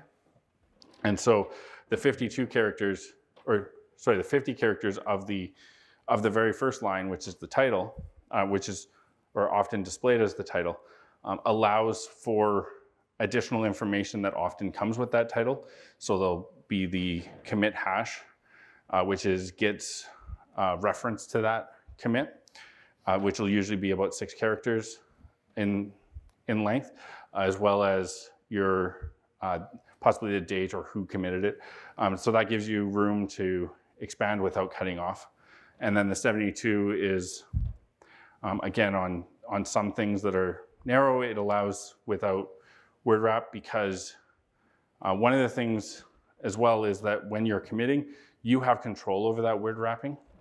Um, you have control over when when line breaks happen. Whereas if you just type it all in one big big long line, and then you commit it, and someone opens it up in their terminal and they try to read it, and it gets halfway through a word, and then it decides to to line wrap, that's not a good experience. So. Um, so yeah, the, the commit message can be absolutely anything you want. Um, and before I actually commit this one, um, I'm going to quit this and uh, do what we said we were going to do at the beginning. So I can do git config dash dash global uh, and type properly. Uh, and then I think it was core.editor. And I'm going to say notepad.exe. So now when I just run the git commit command, uh, it opens in editor. And apparently, I don't know how that new notepad feature will work with this message, um, but I also don't normally use Windows 11. So uh, be aware of that if you're going to use Notepad as your editor, apparently, because I think something happens where it, it'll load, like it tries to remember it for you. Um, I can say just this is our commit. Um, and one of the things uh, about it, the, the default commit message, it does load up um, like this, what we have on the screen, which shows you, like it, it gives you all the comments and kind of describes for you. Um, so I, which kind of why I, I glossed over it um, earlier. As well, it gives you kind of the information about the changes that you're about to commit. Um, so you also have like another chance to look back and say, well, actually, I don't want to do that. And then once the file is uh, saved and the editor is closed is when it finally, um, when it commits. If you don't want to actually commit anything, you just close it. Um, otherwise, it'll commit them. Um, and now, is git log the next one Yes. that we had on our list? I think, yeah, actually, we kind of planned that we were going to talk about git log after the break, but didn't actually, thought we were going to get beyond git log before the break. Um, so now we've come back from our break, and it gives us the perfect opportunity to actually say, well, what, what have we done uh, recently? And by default, git log gives us um, this. This is the output. Uh, it gives us. It tells us uh, the information about our commit. Uh, head is. I'm realizing we did, hadn't discovered head, and it is actually a very important concept in Git. Um, and head is what how Git refers to uh, where Git happens to currently be. Um, and um, a, a way to describe that is uh, just let me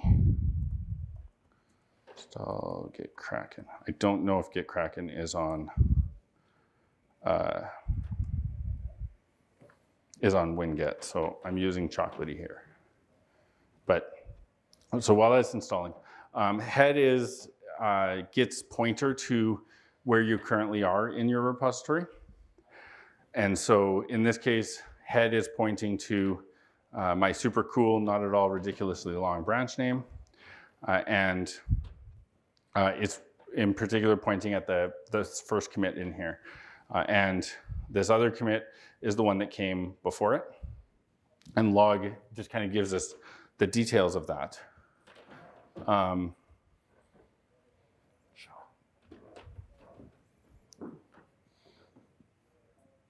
you don't have the latest slide. Version control.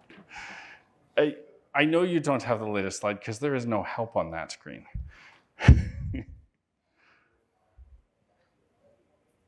okay, coffee break. Wait, yeah, okay. That is where we would want it to be. But I, we did git add, get, so I think, because we totally practiced it and are professionals, we were supposed to come back to slides and not necessarily the demo part. um, yeah, so we were at coffee break. I thought I was much further behind than we were, but apparently not. Um, but you'd see the difference, right? Yes. Okay. Um, the joys of, of version control and working with mul- multiple people, obviously, is the uh, I have one copy and he has a different one, um, which hopefully we'll get into uh, shortly. So I thought I hadn't talked about log. so git log um, shows your commit logs, and it shows you how to it it shows you the information about it. Uh, it shows you the the commit um, and the head. And this is actually perfect because Git Kraken will be ready by the time we get to it, anyways. Uh, and along with Git Git log, so Git log gives you kind of your commit details of the commit message that you gave it, who committed it, uh, and that's generally it. But Git show uh, shows you various types of objects is what the help does. Uh, in most cases, you're just going to be asking it for um, for commits uh, or um, or branches, uh, or maybe not. Maybe you'll do more than that. I guess I shouldn't I shouldn't make assumptions about how you're going to use Git, uh, especially since my way of using Git is constantly changing. Um, but it shows you it shows you more details about it. In particular, it shows you, or it, uh, I I use it to show the uh, the change set and show the the diff of of what that file or what that change actually did. Um, and then after show, we have git reset, which um, resets current head to the specified state. Um, and this this might have been where I actually intended to talk about head, because I remember having seen it and uh, made a note in my in my head that I needed to make sure I talk about head, uh, because uh, Git, I think head comes from like the version control systems that came before Git. That's how they used it, and that's um, therefore that's why they still call it head. Um, another way you could think of is just the pointer, uh, pointing at where uh, we currently are, um, and then uh, from and reset. Reset is another one one of those commands like checkout. Uh, it can do a lot of like various things. Uh, one thing that you'll often see is running uh, git, re git reset dash dash hard to uh, wipe out all your changes on um, in the working directory. I would lean towards using git restore, uh, which restores your working tree files. In particular, you can give it uh, just individual files and it will restore um, just those. Uh, and that, that's, so you've made changes to the file and you decide you're not going to keep those changes for whatever reason. Um, a common one for myself is in some of our debugging, we have to set um, set certain things um, in in the programs to be certain ways, and uh, those don't work in when once it's out in production. So you make that that change, you do your debugging, and then you can just get restored to get rid of it. Um, uh, git stash is uh, um, to allow you to, to stash the changes uh, in a dirty working directory away as the co- copy and paste off the help uh, says. Um, and a dirty working directory is just one that has changed and you've made edits to. Um, okay. I was questioning whether I just had a whole list and didn't actually have planned stops, but that's a lie. Um, and Git Clean, uh, before we go into more demos, uh, Git Clean is um, probably one of my, my actually most used uh, commands, and it removes untracked files uh, from the working tree. Uh, and because all the other commands that so far have worked mostly like with um, with tracked files. So if you git restore or git reset, uh, you can only restore or reset these the ones that files that you're tracking, whereas git clean uh, will get rid of effectively get rid of the untracked files, um, which um, we'll cover how to untrack. Hopefully, we'll cover how to untrack later, or how to not untrack, ignore files later. Um,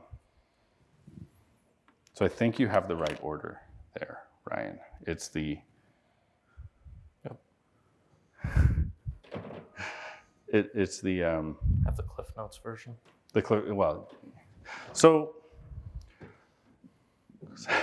so we covered log, um, and and our actually the intention was to come back from from break and to to cover log because uh, as we've uh, demoed, I can't remember what I did half an hour ago. How can I remember what I did a week ago?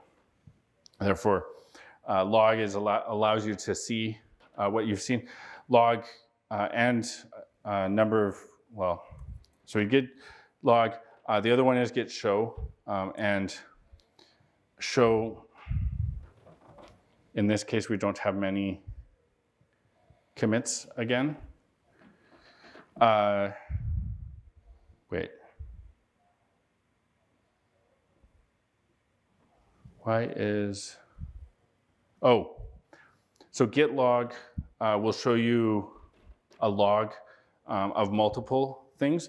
Um, and you can, you can be more specific. Uh, and so we can give it uh, the commit hash, uh, which is this one here. We can either copy the whole thing uh, or you can get away with usually about six characters, I think, is the is six or eight, I think it's six. or sometimes one, sometimes the other. Um, basically, Git will allow you to, anytime you're working with these things, you can give it a commit. Uh, you can either give it the full commit or you can give it uh, similar to PowerShell parameters. Um, you can give it just enough to uniquely identify it. Um, so like if you're doing in PowerShell, you do select select object, you can do dash expand instead of dash expand property. As long as you get far enough to identify it uh, uniquely, it'll uh, figure the rest out. Um, which means that I can do it with even five, which is fewer than the six. Um, but so so git log you can you can either just run git log and it shows all of them. You can give it a, a single commit. Um, uh, you can also do git log uh, hyphen and then give it any number and it will give you just that number of commits. So if I give it one, it'll only show me the last one commit. Um, this might be a good opportunity to see if we have any other branches, which I bet you we don't. Um, but now if I do a git checkout, dash B. I was gonna, I was gonna put in a swear, but I suspect we shouldn't. Uh, checkout dash B. Hello, because I am very unique with my, uh, with my uh, branch names. Um, but to, to demo what we tried to demo earlier, uh, now if I do a git checkout and do dash, yes, I knew I wasn't losing my mind. So when you have branches, you can switch um, back to the one you just came from with git checkout dash uh, or git switch dash. Uh, will both take you back to that previous one. Um, and the uh, which is which is helpful in cases like this because uh, I really don't want to type out my super cool, not at all ridiculously long branch name. Um, but uh, in the case of that one, uh, to demo the the PoshGit, and one of the reasons I love PoshGit is that I can do git checkout, um, and I hit M and then hit Tab, and it just figures out my commit or my my branch name for me, and I didn't have to type it out, especially since I would probably type it uh, spelling super correctly, because um, I definitely would not have typoed that earlier either, um, except that I was demonstrating, so that's, that's the only reason typos happen, right? Um, okay. So so I'm going to switch back to this shorter one uh, and um, and actually demo some things about reset because reset's the next command, um, or at least Yes. I, yeah, that's what it says down there. um, so so uh, reset I know what I wanted to show because it's going to lean into. Uh, so new item, bad. Oh no, it was it was good compression file, wasn't it? Um, if anyone's following the XZ debacle, but um, bad file, PS1. Um, so, so with the git reset command, um, I said, there's a number of things we can do. Uh, one of the, uh, or the, the one that I do most, most often is uh, if I add, so I've added my, my bad file into my index, um, and I decide that actually I don't want to commit this, this file. Um, the way to get it out um, is to run uh, git reset uh, bad file. And that will reset it, or it'll take it out of the index, but it'll leave it in the working directory. Um, and I think even, I've never tried this with an untracked file. So we'll see if it works.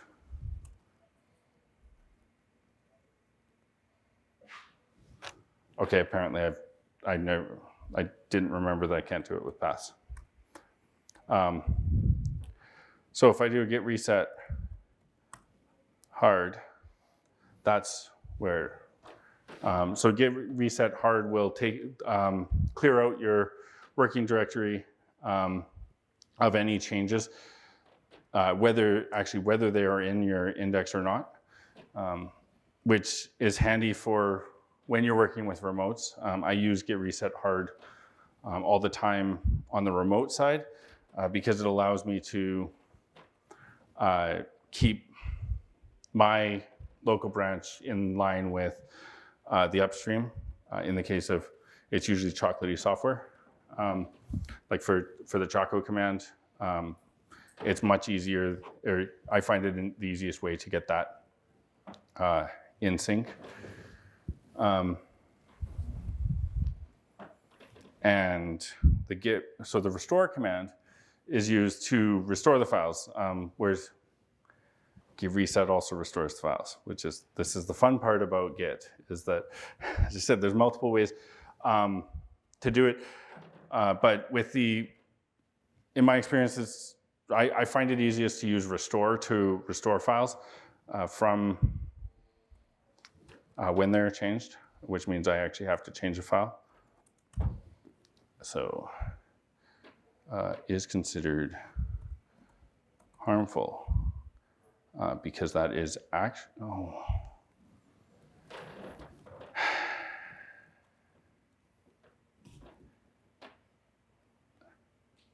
So don't forget to save, apparently, if you have this new this new tabbed uh, notepad. Otherwise, it'll just keep it and not actually prompt you to save. Um, but now we have a changed file, um, and so we can run git restore, uh, and then we have to specify the, the files that we want to restore. Um, but before we do that, let's look at git status. And we haven't covered git diff. Did we say we're going to cover diff? No, not yet. Not yet, but did I do the dumb and do we actually have 25 that we need to cover? Okay. Um, so a 25th command to cover is git diff, uh, which is actually, I think, quite important because uh, you often want to see what, what you've changed. And uh, uh, especially when you're picking what you want to, to commit. So git diff, we're going to pretend that we have a slide. Uh, and git diff means show changes between commits, uh, commit, and working tree. Uh, so perfectly simple. Uh, in practice, um, so you would run git diff, because I made changes to script.ps1, but I don't know if I want to commit them. And uh, status just tells me that it's changed, but it doesn't tell me what's changed. Uh, so I run, so diff actually tells me that uh, we, uh, in this case, it's, it's not always the best output um, because it just, it says, well, you deleted this line and you added this line, when in fact, a, a rich diff uh, would show us that actually we just changed the word awesome to the word harmful? I think, Yes. but it also might have, no, it would have told us if it was line, if it was encoding change, I think. Um, and so what I'm actually going to do now that I'm on a new branch uh, is I'm going to commit that. Uh, and because I am not at all lazy, uh, I'm just going to do dash A M and uh, and give it a commit message. So so with with commit, we covered like that you can commit, but one of the things you can do with git, git commit is there's a lot of uh, parameters on it. One of them is dash A uh, or dash dash add, I think. Don't quote me on that because I don't use the long, long ones. Uh, but so dash A will add all of your currently tracked changes uh, into your index, and then dash M or dash dash message is the message that you want to give it. Um, and that will just do our commit for us. So now we can do, if we do a git log and just ask for the last one, we see that we just committed uh, and we just gave it the description of harmful because we're following the, uh, the, the guidance of having good commit messages. Um, and that's why it says harmful. Um, but also, uh, when we, so with log, and now I'm realizing I'm jumping all over the place. um, but log allows us to, log has a dash dash all. Whoops, wait, yes.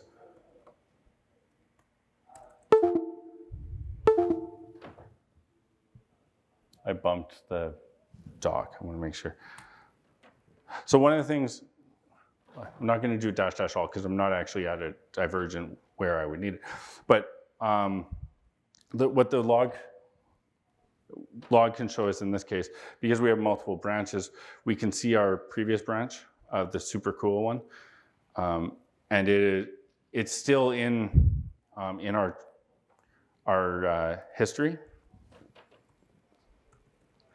And so when we when we launch a graphical interface, um, and now I use GitKraken, um, which is free for open source, uh, but otherwise a paid one.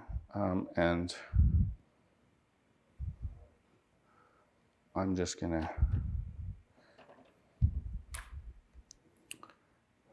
Oh my goodness.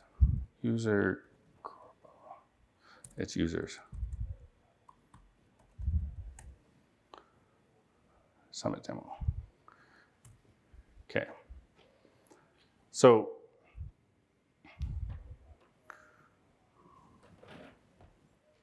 it's not going to ask me anything else, is it? Um, so with the with the in the graphical interface, we can see like this. This is the um, a graphical representation of this same Git log, uh, and we can see the my super cool. Um, if I can make things bigger, uh, the our long branch name. I'm getting tired of saying it because this is why you shouldn't necessarily make them long, especially if you're going to have to talk about them for a couple of hours. Um, so, uh, words that I have. Um, it's we can see that like it's it's still there in it, and actually, if we if we check out uh, that one, uh, and now if we run git log, we don't see the hello one uh, anymore in in running just git log from the CLI. Uh, in the graphical interface, we still see that it's here, but we uh, we also see because of at least the way that GitKraken showing it, um, uh, the check mark is where we're checked out to. There's a way to collapse this. So, um, and so, but sometimes we want to run uh, from or maybe not sometimes, but oftentimes we want to run from the, the command line and we can see the same, or the same with dash dash all. Um, so it shows all, like the whole log, at least as far as the terminal will show us, and then it starts paging. Um, and in this case, since we only have three, there is no paging, but um, it shows us still pointing the, the head, so where we're checked out to. Um, and then git stash apparently is what we said we're talking about next. So, so in the git stash, um,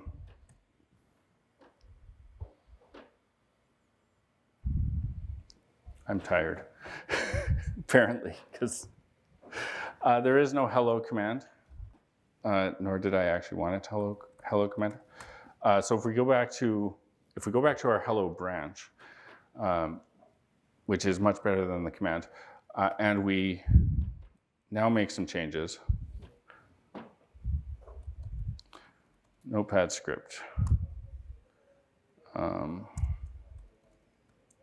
Write-Host. So say we were we were working on this script for uh, Jeffrey Snover, uh, who at one point I believe was uh, had said Write-Host is considered harmful um, and also had convinced a room full of attendees at Ignite uh, to yell really loudly Mark who when he said Mark Russinovich, who happened to be across the hall. um, and I wish I could have found the video because I wanted to use it earlier. But um, so we're working on the script for for uh, for Jeffrey Snover, and we've decided that the next thing we're adding to our script is uh, that it's going to say Mark who. And then Mark comes to us and says, oh, well, I need you to drop that and work on something different. Um, there are a couple of things, ways you can handle the situation. Um, we could commit to our branch as it is and carry on working. Um, we can also use uh, the stash command and um, actually, so, uh, to demo the, the stash command, we'll call this Jeffrey. So to demo the, the full power of the stash command, um, say we had, we changed our main script and we had this new Jeffrey script. Um, now, again, we can commit it, um, but maybe, maybe we're not necessarily gonna want it to be called Jeffrey. Um, maybe we're not, it's nowhere near ready um, and we just wanna, wanna switch. Uh, we can run git stash to take what is uh, in the repo or in the repo in the working directory and um, and stash it for lack of a better word uh, put it away for later and so we um, by default if you just run git stash uh, it will run uh, git stash add i think is the the subcommand um, but so it, it takes the working directory and the index and uh, applies it into a stash, which uh, GitKraken um, gives us a night, uh, gives us a way to visualize this. Um, and so we can see that that one is, is there. Um, and then when, so we go and do our work for Mark, um, and come back and we want to carry on our work for, for Jeffrey. Uh, and then we can just run, we run git stash pop. Um, so stashes can be considered a, um, in computer science, it's a heap, I think. I'm hearkening back to my college days, which are stack. That's the one, I think. It's a, it's a stack. So you last in, first out. Um, so you, they apply on the stack um, to, they basically put a commit on top, on top of it, and then uh, if you if you issue the pop command, it will pop it off of the stack and it'll take it take it off. And assuming it applies correctly, um, it will delete it from the stack. If it doesn't, um, then it it actually stays on the stash. But um, in this case, it works just fine because we haven't actually changed anything. Um, uh, for, for me, one of the, like, uh, what I've actually learned recently with stashes that I, I found powerful is that I can do uh, git stash um, and I can do dash u, which is to stash the untracked changes as well. Um, and so now it's taken our modified script.ps1 and jeffrey.ps1 and they're on the they're in their own new um, new stash, and we can uh, get go back to our stupidly named uh, branch and um, now say we want to actually remove that and git commit uh, we'll give it at least a half decent. Um, and now when we, um, and another, actually, actually this is, that um, stashes can also be used in, in this scenario where um, you, you've done a bunch of work and realized you're not actually on the branch that you meant to be on, where you're supposed to be doing the work. Uh, instead of committing it, and moving it over, and then trying to bring it all over there, you can just um, put it onto the stash and then uh, do a git stash pop and uh, bring it off. And this, if I did this right, um, this demonstrates the the uh, uh, that the pop only deletes when it applies cleanly, and in this case, it didn't apply cleanly because uh, it was deleted that one of the scripts that we were editing uh, was deleted, and so we have a, a conflict. Um, and I'm realizing I'm demoing this and I have no idea how to fix it from the command line. um, oh, yeah. So in this case, um, we're going to tell it that we want to delete it and now, um, and now, and then it's applied it or uh, applied the other change from uh, from here, which it's not showing.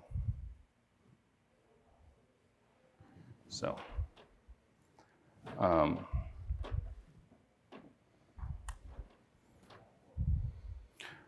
but clean. Um, I don't know why I wanted to talk about clean this early. Probably because it's not to do with remotes.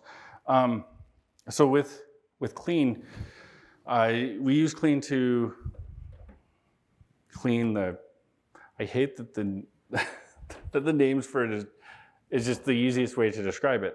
Um, but it, it takes your working directory uh, and will will clean it of any um, any files that are not tracked uh, by Git. Uh, and uh, by default, actually, if I recall, it doesn't actually do anything. Yeah. Um, so by default, you actually have to give it uh, what you want it to clean. Um, or uh, and so with uh, with dash n, it will just dash n is kind of like dash what if in PowerShell. Um, it'll tell you what it would clean, but it won't actually clean it. Uh, and then by default, um, we would then either have to give it I uh, for interactive or F for force. Um, and in this case, so I give it I, and it asks me, do I want to clean uh, Jeffrey? Uh, because I've only one file. Um, so I'm gonna, I'll choose to clean that. And now we're back to, um, we got rid of that, that file that was untracked. Um, one of the powers of, of git clean though is that uh, there's X um, and D, and like,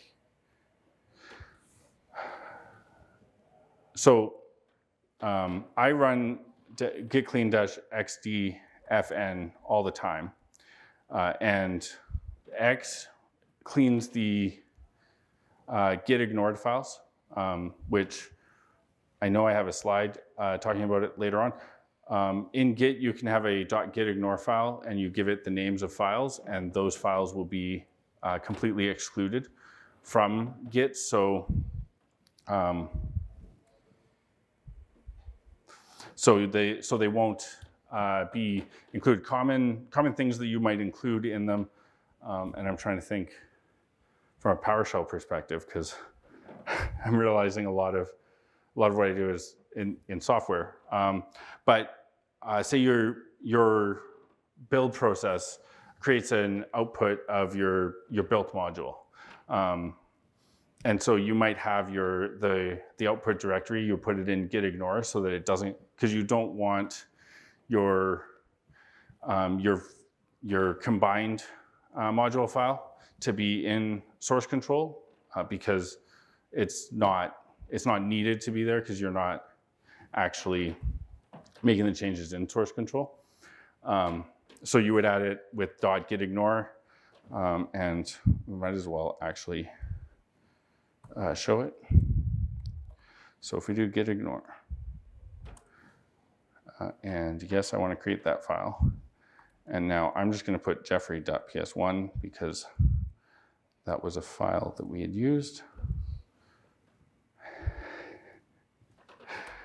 And I apparently hate working on um, laptop keyboards because I have a I have an ErgoDox and my, all the keys get moved around, uh, and so um, so now we're gonna uh, add that add that git ignore. Uh, and we're just going to keep a, right. Um, so git commit dash A, um, the great thing, actually, the nice thing about dash A is that it will only take tracked files. So uh, that actually did nothing because I need to uh, git add the git ignore, and then I can commit it. Um, and now if I do uh, copy, copy. Okay, fine. New item, Jeffrey.ps1. So now when we're look,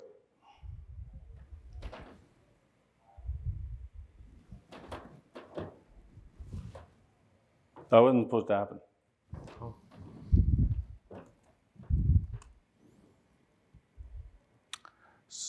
So, my, in your git ignore file,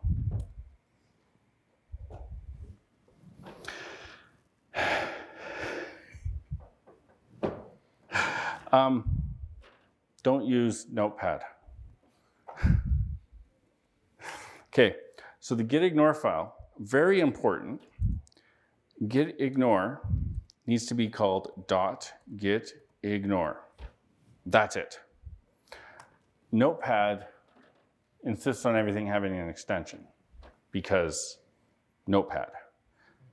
So now, if I do a git status, the gitignore.txt that if I was paying attention up here, I might have noticed. Yeah, if I was paying attention, I would have noticed that, but apparently I wasn't, and neither was my helper. Um, uh, so, so with the git ignore, now when we do a git status, uh, we don't see the jeffrey.ps1 now that we've actually done it correctly. Uh, and so uh, I'm going to add things and commit things. Uh, LKJ because it's easy. Um, but if we look at the directory, we still see jeffrey.ps1. Um, and this is where uh, git clean uh, dash xd um, fn comes in is that it would tell it tells us that it would be removing Jeffrey because I think it's the X. And if I'm not mistaken, D is to delete directories if they exist um, and are not being tracked. So, um, so that's where git clean comes in. Slides. Is that That is is all. that then back to slides? Did I leave any anything for you in this last bit? Okay, good. Perfect. Because I totally, totally remember what I put.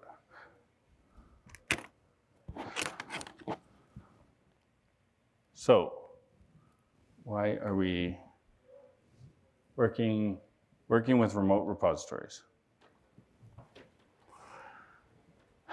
Which which gets us to the, the end or the, the end goal of using source control, I think, um, at least for me, is to use um, is to share with with others and to work with others, especially when using uh, Git, which is a distributed uh, version control system. And so, move on into working with the the remote repositories, um, which is Um, GitHubs, your GitLabs. yeah. GitHubs and GitLabs. Um, uh, it can also be just a directory on on a file share um, if you wanted. Um, I'm not sure that I would necessarily do it, but um, but it, it can be done. Um, and so in order to do that, we use the, the remote command, uh, which is used to manage a set of tracked repositories. Um, a attractive repository is just, uh, it's typically a name and a URL reference. UR, URL reference or a path, um, whether it's SSH or HTTPS or something. It's um, it, it configures the way to to talk to the remote and tell it uh, where to go to get it. Um, and once we have remotes added, this is not the. Um, once once we have a remote, um, it doesn't do us any good to to keep it on our system, and so we have the git push command, which which I think this is one of the ones that um, alluded to at the beginning, the, the help of update remote refs along with associated objects. Um, okay, uh, but what are remote refs and what are associated objects? Um, but so git push is used to take uh, what we have on our system and push it uh, and uh, effectively upload it to GitHub, GitLab, um, or what have you. Um, and then once it's once it's on one of those systems, uh, for us to get it back from like, so I push it up to GitHub, and now I've deleted my, um, I've reimaged my computer, and I want to get back. Um, we use the git clone command, which will clone a repository into a new directory. Um, so it'll take from that remote and uh, push it up to us. Does yours have this next part or? Um, so uh, once once we've cloned it down though, what, it doesn't do us any good if, uh, so I say, say Ryan makes an update on to our docs repository, be a perfect example, and I have a, a copy. Um, I'm gonna take a drink. Um, so I've, I've got a copy of the of the repository, but but Ryan here's made changes to it. Um, so I need to get them back on mine uh, some somewhat in some way. Um, and so that's that's where the git pull command comes in. So git pull uh, it fetches from and fetch from and integrate with another repository or a local branch is what I actually never noticed the local branch part before. Um, I'm not sure I've ever used that, but um, so so that's how you would get it from uh, from the, like the changes on GitHub and get them down uh, to your local copy. However, I'm going to tell you it's a dangerous command that many people use without understanding the consequences. So git pull um, is um, it's it is often referred to and it's often said to use, uh, but and and often it works just fine. Um, I would say the majority of the times you're probably not going to have an issue, but sometimes you will have an issue. Um, and that's the dangerous part of it is that those sometimes um, don't come often but when they do um, you have to you, you then have to undo all of that stuff um, and so as regina george would say um, stop trying to make pull happen Um, because um, i'm to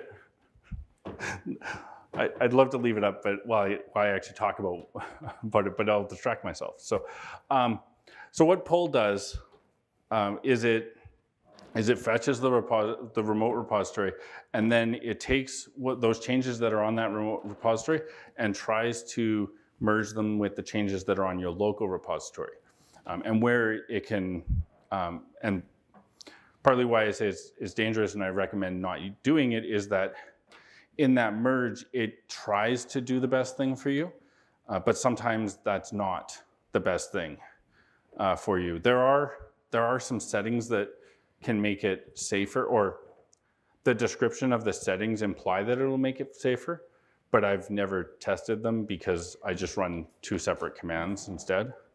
Um, so then, uh, you might, you're probably asking um, if we're not if If we're not running git pull, what do we run? Yeah.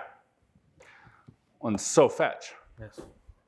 as I can't remember what her name in the movie was, but um, so git fetch is the command uh, that I'd argue you should run instead of git pull. Uh, and it downloads objects and references from another repository, but does not try to merge them into your local change. Um, and so this is where we get into the, um, I'm semi glad I prepared. Why is my watch buzzing at me though? Um, oh, wait, okay. Um,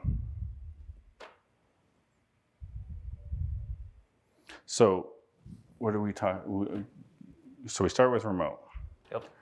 which means, so with remotes, um, we obviously we need a need do. remote. Sorry. We do. Probably the first thing to do would be close down the remote. Well, in, in this case, we already have our changes, right? Yes. Because we, we have this one. Um, so what, we, what we're actually going to do is uh, we're going to go to, uh, in, seriously? I swear this worked.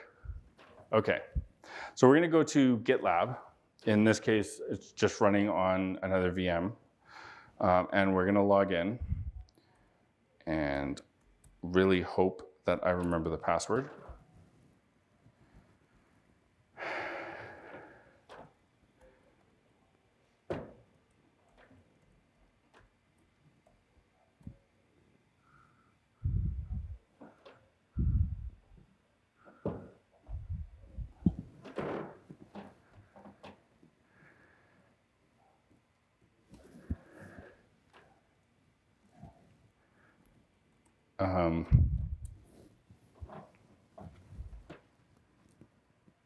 Okay.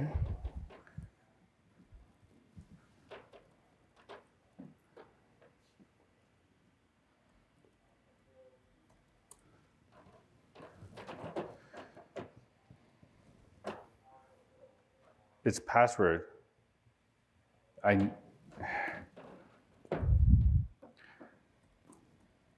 maybe.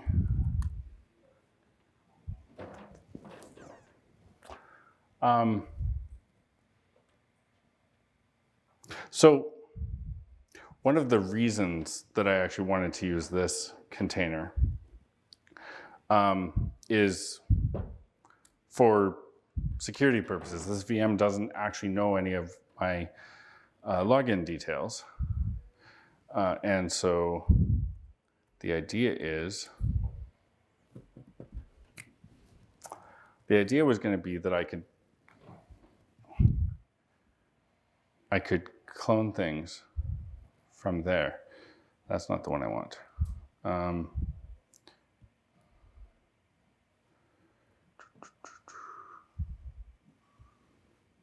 why did that close? Um,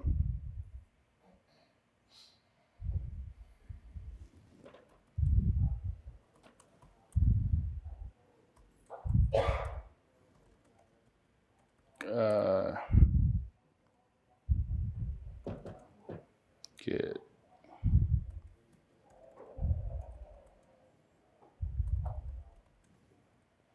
dash dash.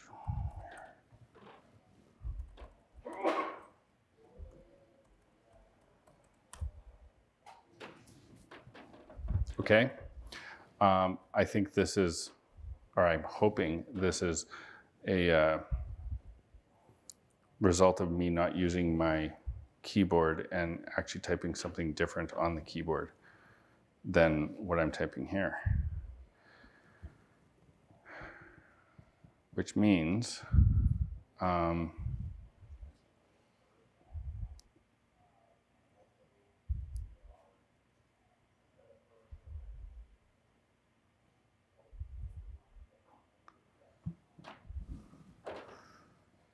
which means can I demo it or do I need to do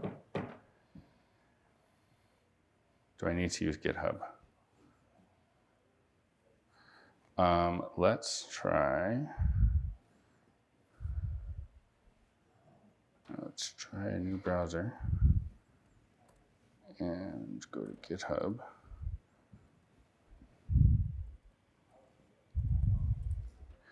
Well, that wasn't quite. wha- So I guess we'll use GitHub. Um, and I will just try to be very careful.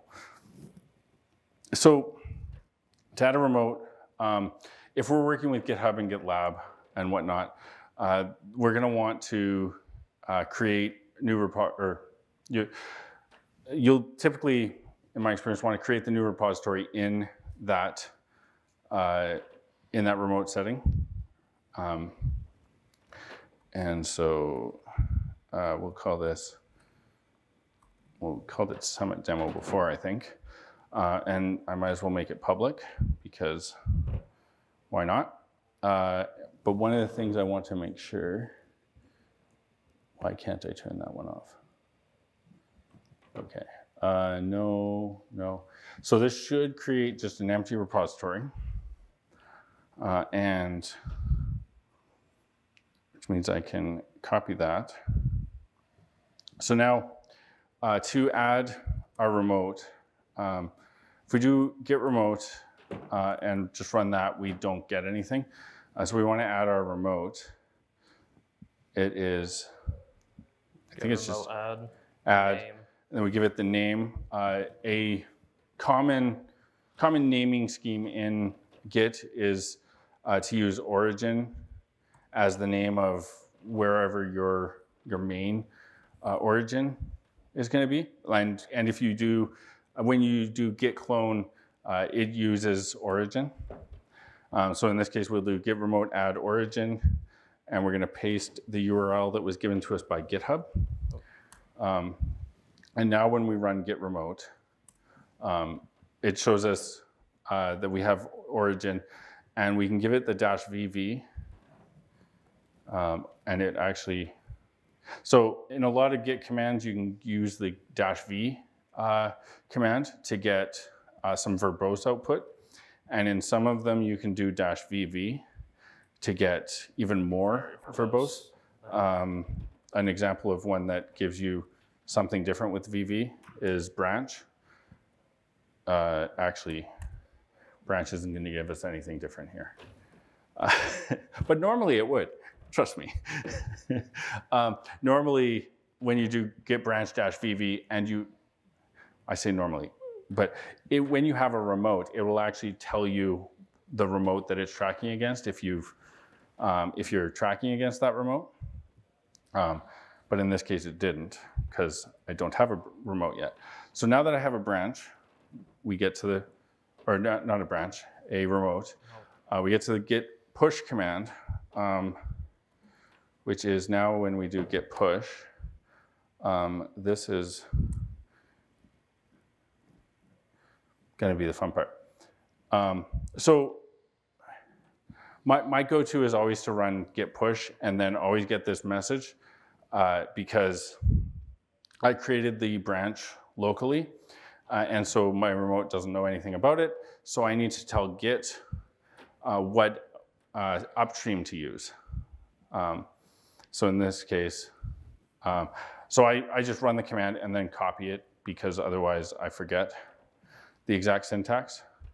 Um, and Git tells you the exact syntax every single time. So I figure why not let it do the work. Um, it does, apparently you can tell it to automatically do it. Um, but I've never, I've never thought to actually set that up because that would just make my life way too easy. And I am nothing if not a glutton for punishment, uh, which means I need to figure out how to sign in. Uh, what does the code want for me? Oh, this is handy. I think. Um, can I? Okay. Oh my goodness. Why did it? Uh, okay. so github.com slash login slash device.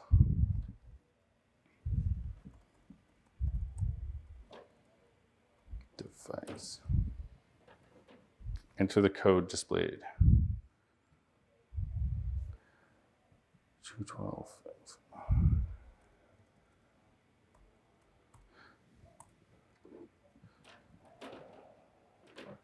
Um,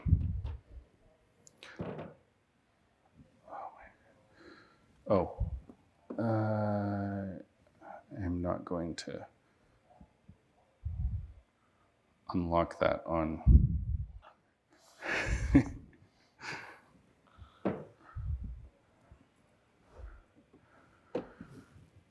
Ah. So, um,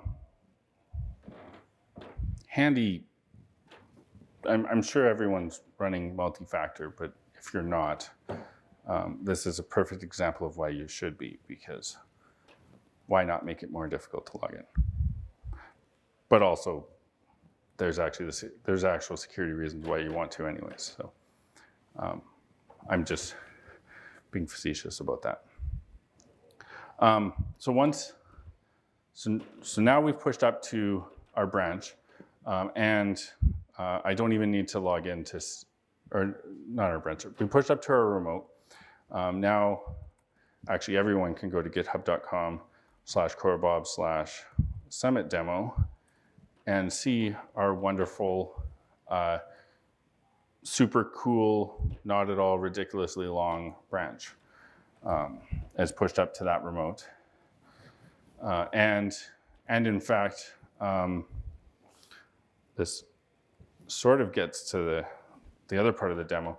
Um, if anyone wants to, uh, they can also do the next command, which is git clone. Uh, I'm going to make a git directory and move in there though. So, um, so if you do git clone, um, git clone summit demo, this will clone it down uh, from the remote and set it up uh, with the uh,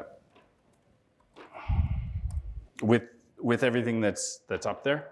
Uh, in in this case, there's only one branch because we've only pushed up one branch. Um, but uh, if we wanted to, um, and not not an if we want to, because we definitely want to, uh, I'm going to go into Summit demo here, and I'm going to check out hello. No. Uh, IPMO Posh Git.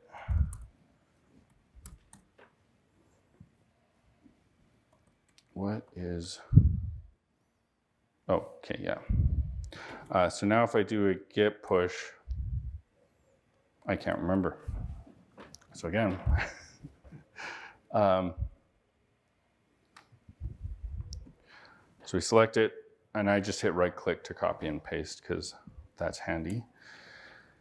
Uh, we push that up, and um, and now uh, we said we said git pull was kind of the next one, but we also said don't pull because of the of the potentially harmful ramifications. Uh, but what do you do instead? You git fetch. Are you?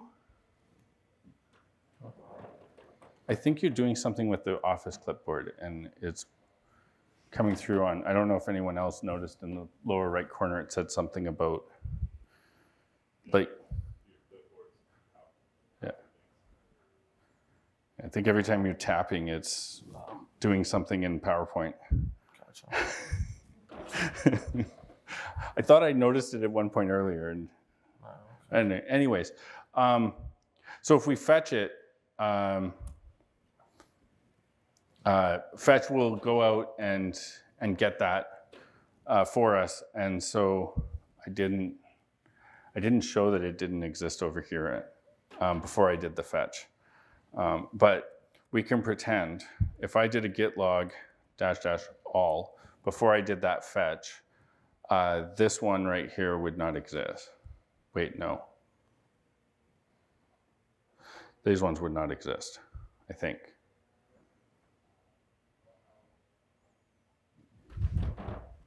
Maybe it's actually just this word that wouldn't exist.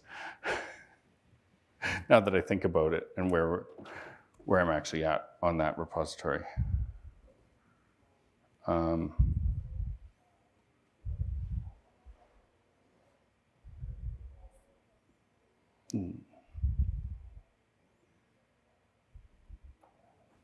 Yeah. Um,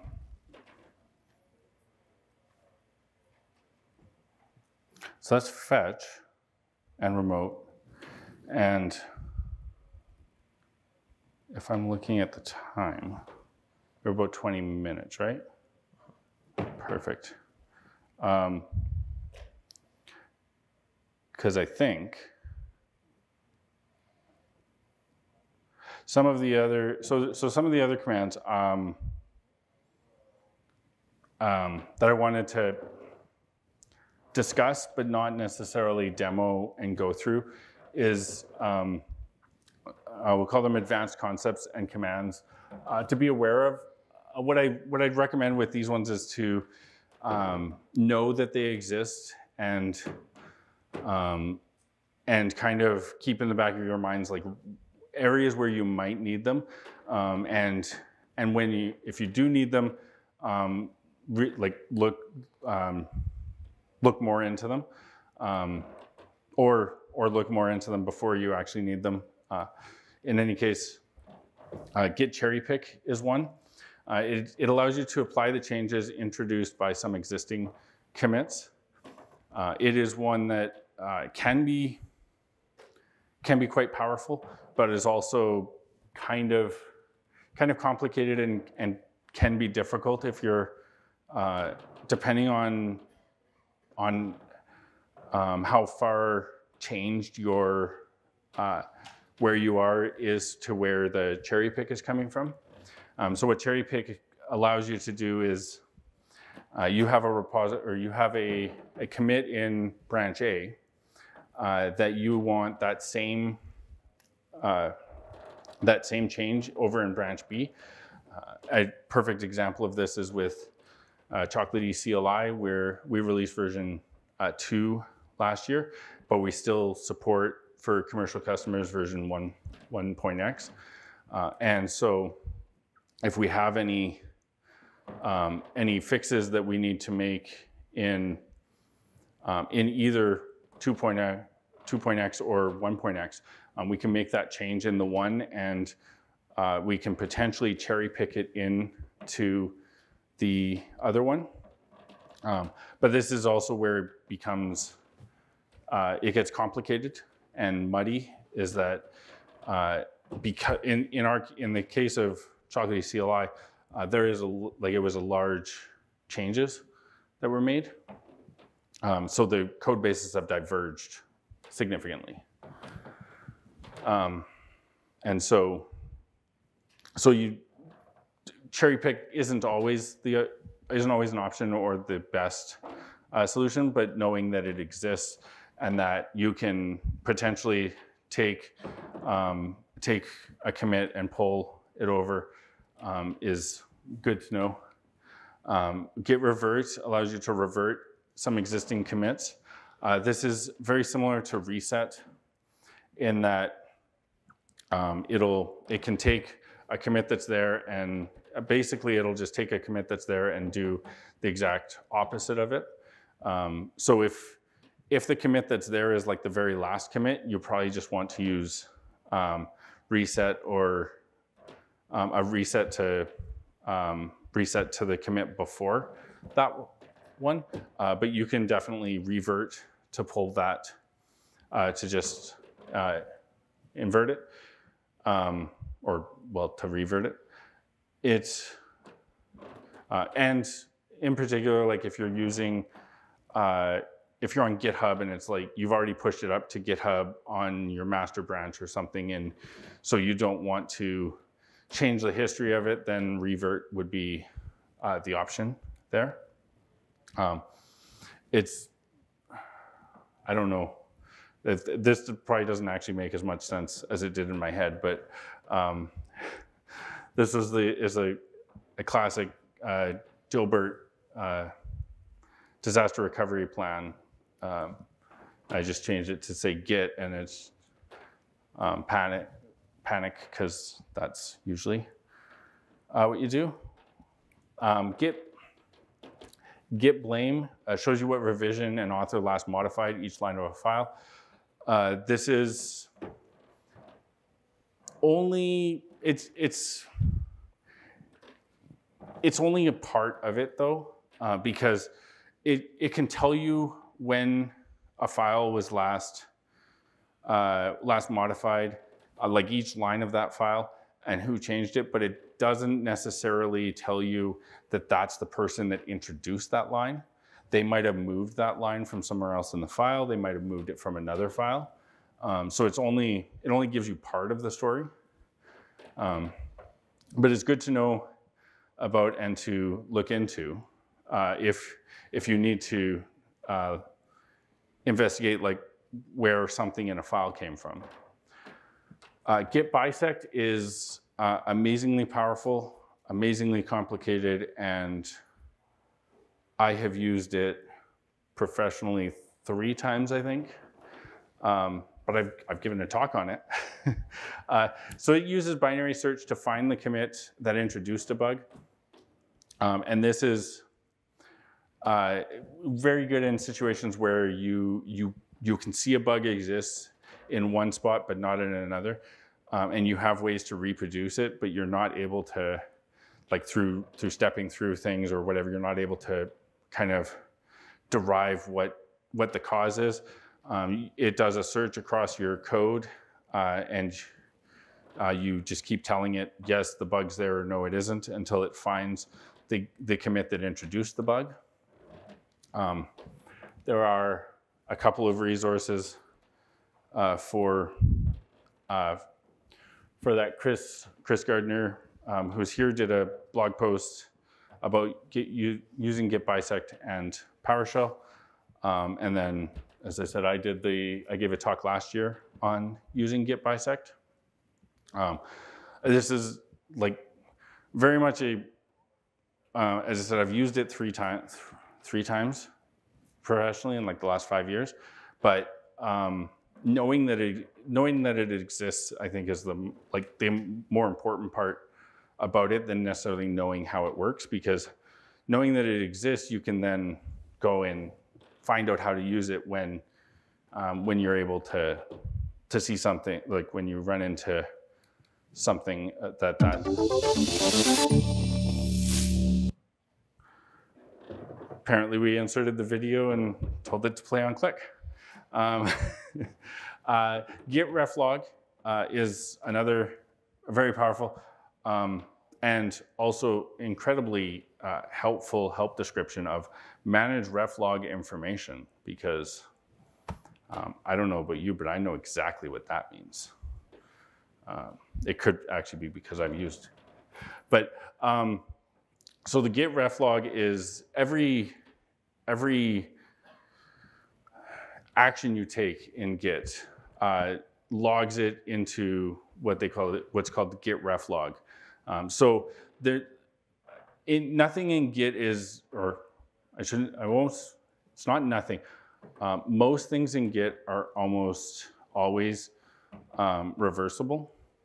Um, some exceptions might be if you, if you delete untracked files, um, then you're not necessarily going to be able to get those untracked files back. If you um, delete uh, changed files that you haven't put into your index yet, or maybe not delete, but um, like uh, if you undo those changes, you might not be able to get them back. But like once something's been put in Git, uh, you're typically able to work your way back through it.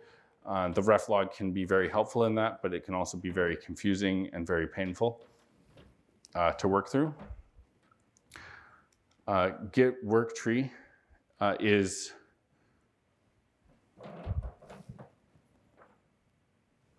uh, copy and pasted from the wrong help page.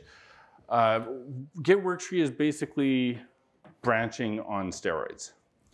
Um, instead of where we were working in a single directory with Git, and moving between branches in that same directory, um, you run the git work tree command and it will create a new a new work tree or a new directory uh, and check out the branch into that directory.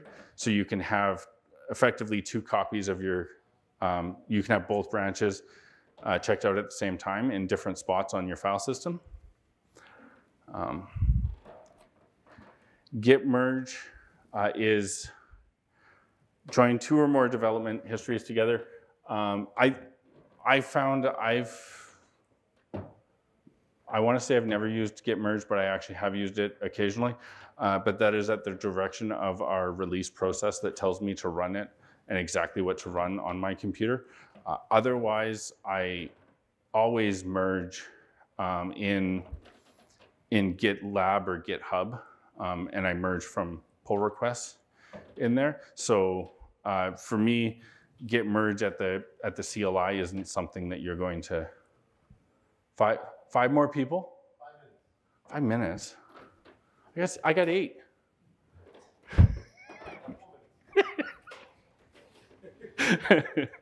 um, so so uh, the reason I, did, I didn't really cover it is because I find that in day to day, you I'm I'm never git merging locally. Um, I'm always using using the tooling that's provided by the hosting providers of Git GitLab, GitHub. Um, those are the two that I use most often, but I believe all the others have merging abilities as well. So, um, and then some, since apparently five minutes, less than five now, uh, I have a slide that I titled Get Good. Um, and just some, some tip, I, I don't know, actually, now that I think about it. Um, this was totally not put in just this morning. We'll just lean into that. I wasn't editing everything this morning. Um, but these are actually some, some learnings that I've over in preparing for this. I've there's always be always be committing um, or learning. Uh, no matter how much you think you know about Git, you're gonna always learn more. Um, path spec, which I haven't even really um, got got to cover, but uh, had it in my mind that I wanted to cover. Um, anything that re is referring to a file can be referred to a, through a path spec. So you can do uh, things with path specs like star star slash star dot ps1, and that'll give you all of the ps1 files across your entire repository. Um, and that's where ls files and grep are actually two other git, they're both git commands. Um, and ls files gives you the list of the files that are known to git and only the files that are known to git. And, um, and grep uh, searches through those files. And apparently git grep actually searches through faster than uh, GNU grep and there was another one. Um, so very, very powerful there. Um, some aliases that I wanted to cover but didn't get a chance, apparently. Uh, Git, so, so Git can do aliases. Um, and you can use git config uh, alias dot and then the name of the alias uh, and what you want it to be. Uh, these are some of the ones that I have, so I can just do git f and it will abs pull absolutely everything down from all of my remotes um, there's git, what's commonly referred to as git log a dog. Um, does git log, it shows everything, it decorates it in one line and gives a graph. Um, and I'm realizing I wanted to show that with the chocolatey one, but, um, and one that I did just added recently is, I don't know how many times I've started, I've typed git space and then gone and done something and then come back to it and type git space again. Um, if you set an alias and you put a bang at the beginning of it or the exclamation mark like that, um, it will run that command. Uh, it'll run whatever you tell it to. Um, so in this case, it just runs git. Um, but, um, but that brings us into some gotchas. Uh, don't necessarily run every git command that you ever see on the internet because that's like throwing gas on. You're already messed up. Uh, you might be thinking, well, why do I need git if AI exists? Uh, because according to AI, uh, git branch dash d branch name is uh, put to push changes. Um, it's not to push changes. Dash D dash capital D will delete your branch uh, forcibly and just get rid of it. So you don't want that. Uh, some fetch notes. Uh, please, please, please, if you ever have a GUI that says, do you want me to periodically fetch for you? Tell it no. It can get you into trouble. Um, you can use git maintenance start instead. Uh, it's a command you can run on there um, in your repository, and it will just it will fetch it down, but it won't um, it won't fetch it down. Is I guess the best way to say it. It'll download all of the stuff that it needs to, but it won't tell like it won't update Git as though it did fetch it. So when you go to fetch it, it just moves some pointers around instead of downloading it again. Um, and everyone else is clapping, so we got to. Um, we already covered that one. Uh, we didn't cover hooks because apparently we don't have time. Uh, but it's a great way to have fun uh, by messing with people. Um, Devin's going to put developers out of a job by automating things, but we've been automating. That's what I've been trying to do for 10 years, and I'm still have a job. So, and I was gonna, I was gonna say if you wanted to learn more, go talk to Mike Kanakos, but Mike's mean.